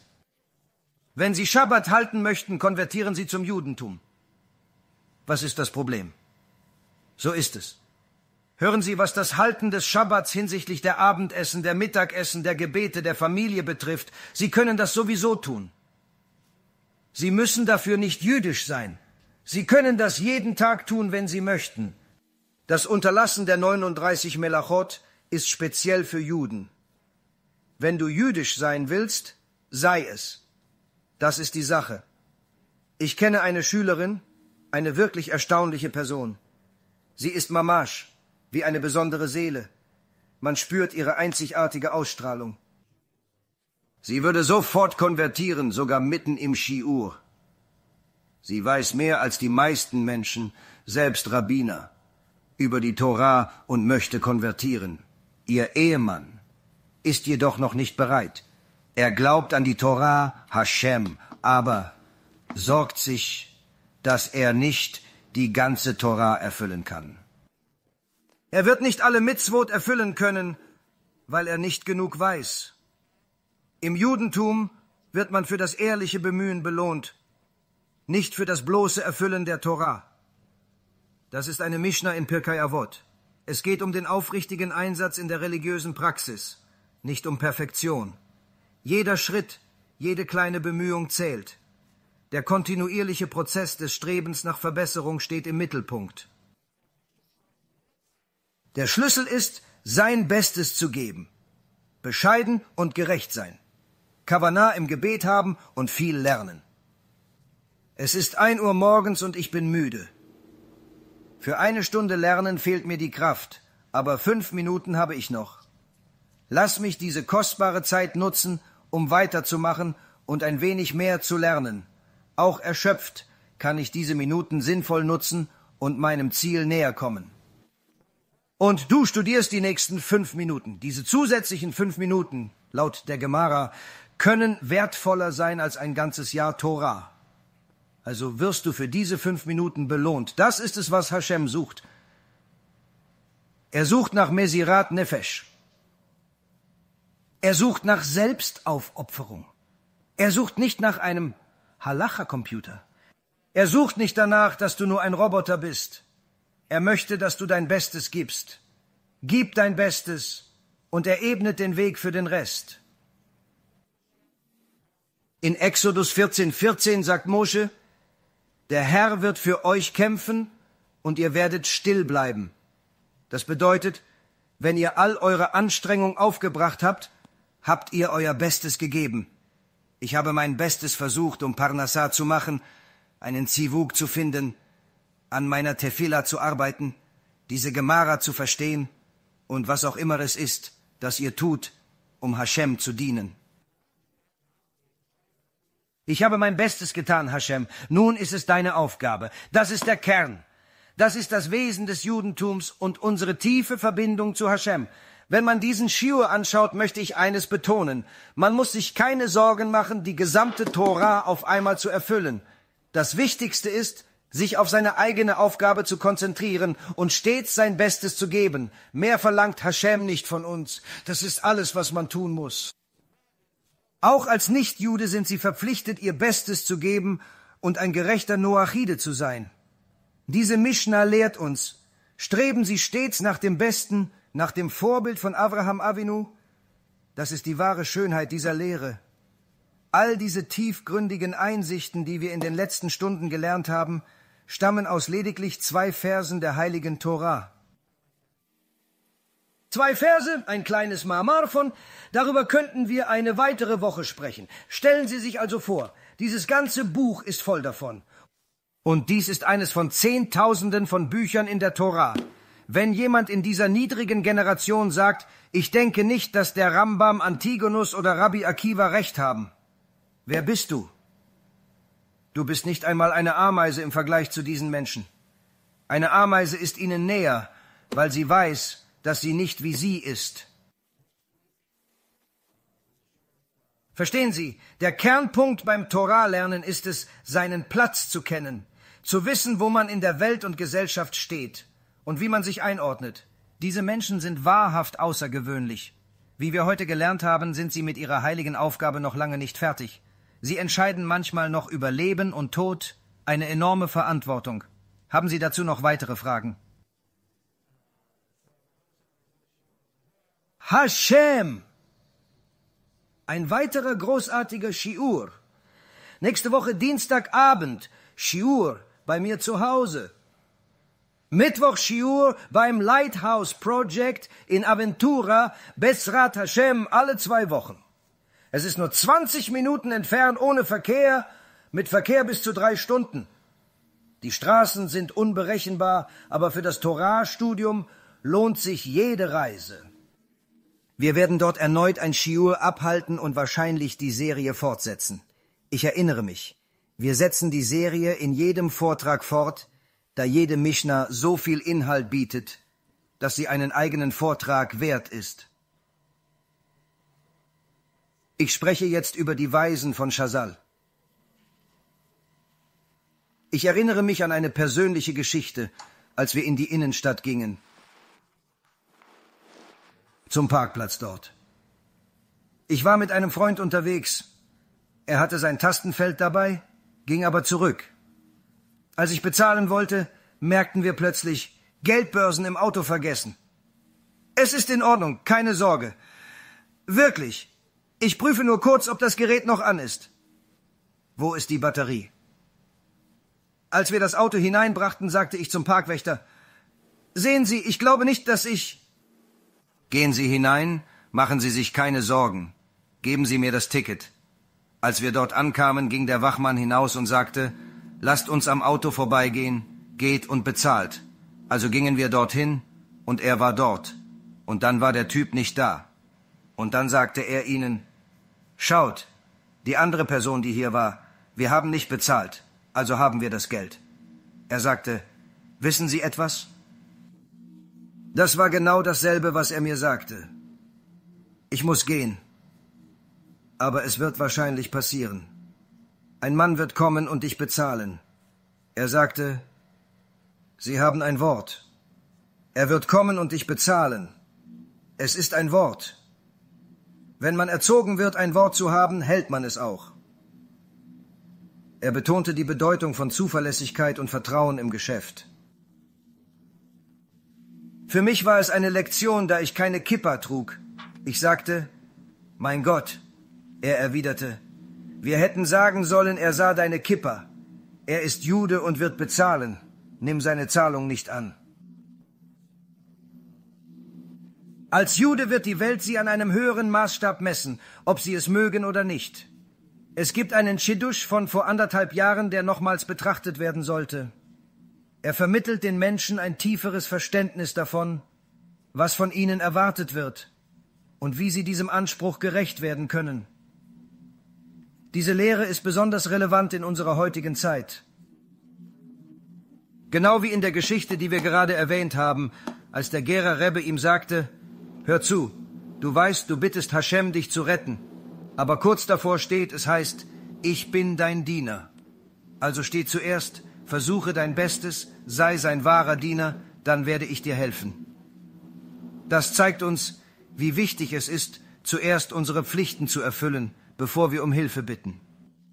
So haben die Menschen eine Verwirrung darüber, welcher zuerst kommt und welcher nicht. Also haben Shazal, die Weisen der Anshai Knesset Hagedollah, dieselben Weisen, die dieses Buch zusammengestellt haben, dieselben Weisen, die uns unsere gesamte Torah gegeben haben, auch unsere Gebete zusammengestellt, verschiedene Teile unseres Gebetes. Und ein Teil des Gebets sind die Korbanot. Korbanot. Dieser Teil beschreibt die Korbanot und Hashems vorgeschriebenes Weihrauchopfer. Es gibt verschiedene Teile des Opfers, die präzise durchgeführt werden müssen. Jedes Detail ist bedeutsam, um es korrekt darzubringen. Es gibt genau an, welches Räucheropfer es gibt. Wir sagen dies täglich. Sephardim öfter als Ashkenazim. Jeder kennt Korbanot aus dem Sidur, aber viele verstehen die tiefere Bedeutung nicht. Obwohl manche es auswendig können, bleibt der Sinn oft unklar. Es ist ein wichtiger Gebetsteil, der an Tempelopfer erinnert und unsere Tradition stärkt. Die Reihenfolge der Opfer kann verwirrend sein, hat aber tiefe spirituelle Bedeutung. Sie lesen die Korbanot und Räucheropfer, deren Geruch laut Torah für Hashem angenehm ist. Ich verstand den Zweck nicht, hatte aber kürzlich einen Chidush, Hashem. Im Gebet erörtern Rabbi Nathan und Rabbi Jehuda die Wichtigkeit dieser Opfergaben. Sie erklären, dass diese Rituale eine tiefe spirituelle Bedeutung haben und uns helfen, eine Verbindung zu Hashem aufzubauen. Beide sagen dasselbe. Wenn eines der Räucheropfer nicht korrekt ist, Chayav Mita, Todesstrafe. Das bedeutet, wenn man anstelle von 50 Gramm 40 Gramm oder 60 Gramm hinzufügt oder es einfach überhaupt nicht hinzufügt, Chayav Mita, Todesstrafe. Ich war so schockiert, als ich das las. Es zeigt, wie ernst diese Rituale genommen werden und wie wichtig es ist, sie präzise auszuführen. Jeder liest das täglich, ohne zu fragen, ist das nicht extrem? Ich verstehe, betrunken ins Kodesh HaKodashim zu kommen, ist Chayav Mita. Vor Hashem betrunken zu erscheinen verdient den Tod. Schon der Gedanke daran verdient den Tod. Schabbat zu verletzen, wie Zelofschat, der erste Schabbat-Verletzer, ist Chayav Mita. Mord steht in den zehn Geboten Chayav Mita. Das verstehe ich. Aber ein Fehler bei einem Weihrauchopfer und ich bekomme die Todesstrafe? Komm schon, nein, Hashem. Warum so streng? Was ist hier los? Die Schönheit davon. Wenn man versteht, was hier vor sich geht, hebt diese Mitzwa, dieses Gebet auf eine ganz andere Ebene. Und zweitens zeigt es dir auch deine immense Verantwortung als Jude in dieser Welt. Zuerst müssen wir verstehen, was dieses Weihrauchopfer ist. Was hat es physisch in der Welt bewirkt? Chasal lehren uns, dass wenn sie dieses Weihrauchopfer darbrachten, es eine Rauchsäule erzeugte. Es würde eine Rauchsäule erschaffen, wie eine Säule oder ein Gebäude, gerade nach oben. Und diese Säule würde bis zum Himmel reichen. Und selbst wenn es starken Wind gäbe, würde er sich nicht bewegen. Was ist also die Wirkung dieser Rauchsäule? Wir haben drei Personen, die diese Rauchsäule sehen. Wir waren 40 Jahre in der Wüste. Wir waren insgesamt 900 Jahre im Beit Hamikdash, das erste und das zweite. Eine sehr lange Zeit, in der die Rauchsäule eine zentrale Rolle spielte. Es gibt drei verschiedene Arten von Menschen, die diese Rauchsäule sehen. Da ist jemand aus dem örtlichen Lager, der ein Jude ist. Da ist jemand, der das Lager verlassen hat und ein Jude ist und da ist ein Goi. Der Jude im Beit Hamikdash betrachtet die Säule nachdenklich. Er hat alltägliche Probleme, Emuna-Schwierigkeiten und quälende Zweifel am Lebenssinn. Die Panassa kam spät, er hat Eheprobleme. Alles scheint sich gegen ihn zu wenden. Doch verwirrt und suchend sieht er die Säule und plötzlich erinnert er sich, sie sprechen mit Gott. Wenn die Säule geht, sprechen sie mit Hashem. Es ist ein Zeichen der göttlichen Gegenwart. Okay, Hashem, ich verstehe. Ich habe jetzt Emuna, weil ich Hashem sehe. Ich sehe das Werk von Hashem. Dieses Wunder, dass eine Säule, wissen Sie, trotz Wind, trotz Regen, trotz allem, sich nicht bewegt. Es ist ein Wunder. Ich sehe es. Es hat meine Emuna gestärkt. Also habe ich diesem Mann geholfen. Der zweite Mann ein Jude, der außerhalb des Lagers ist, hat sich mit seiner Kehilla gestritten. Machloket. Sollen wir im aschkenasischen, sephardischen oder jemenitischen Stil beten? Welchen Schazan wählen wir? Er sagt, ich lasse alles hinter mir. Es gefällt mir nicht. Er ging weg. Doch wenn man weggeht, dreht man sich um. Man sieht, wie weit man vom Ausgangspunkt entfernt ist, um die Dinge zu überprüfen. Beim Umdrehen in den Bergen sieht er die Säule. Er erkennt, das Judentum basiert nicht auf Juden, sondern auf der Beziehung zu Hashem. Dies erinnert ihn daran und stärkt seine Emuna. Er versteht, dass Hashems Werk überall sichtbar ist. Es ist egal, ob ich im Beit Hamikdash mit Millionen Juden bin oder allein auf einer Insel, ich muss jüdisch sein. Die Verbindung zu Hashem zählt. Von der Säule aus hilft es ihm. Er will zurückkommen, den Machloket vergessen. Er kommt zurück. Du hast Kiruf gemacht, ihn zurückgebracht. Dem ersten Mann hast du mit Emuna geholfen, dem zweiten auch. Du hast Kiruf gemacht und ihn zurückgebracht, um Teshuva zu machen.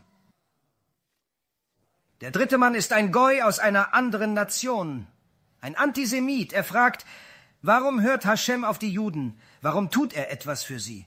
Er gab ihnen die Torah bewirkt Wunder. Alle großen Nationen wollten sie zerstören.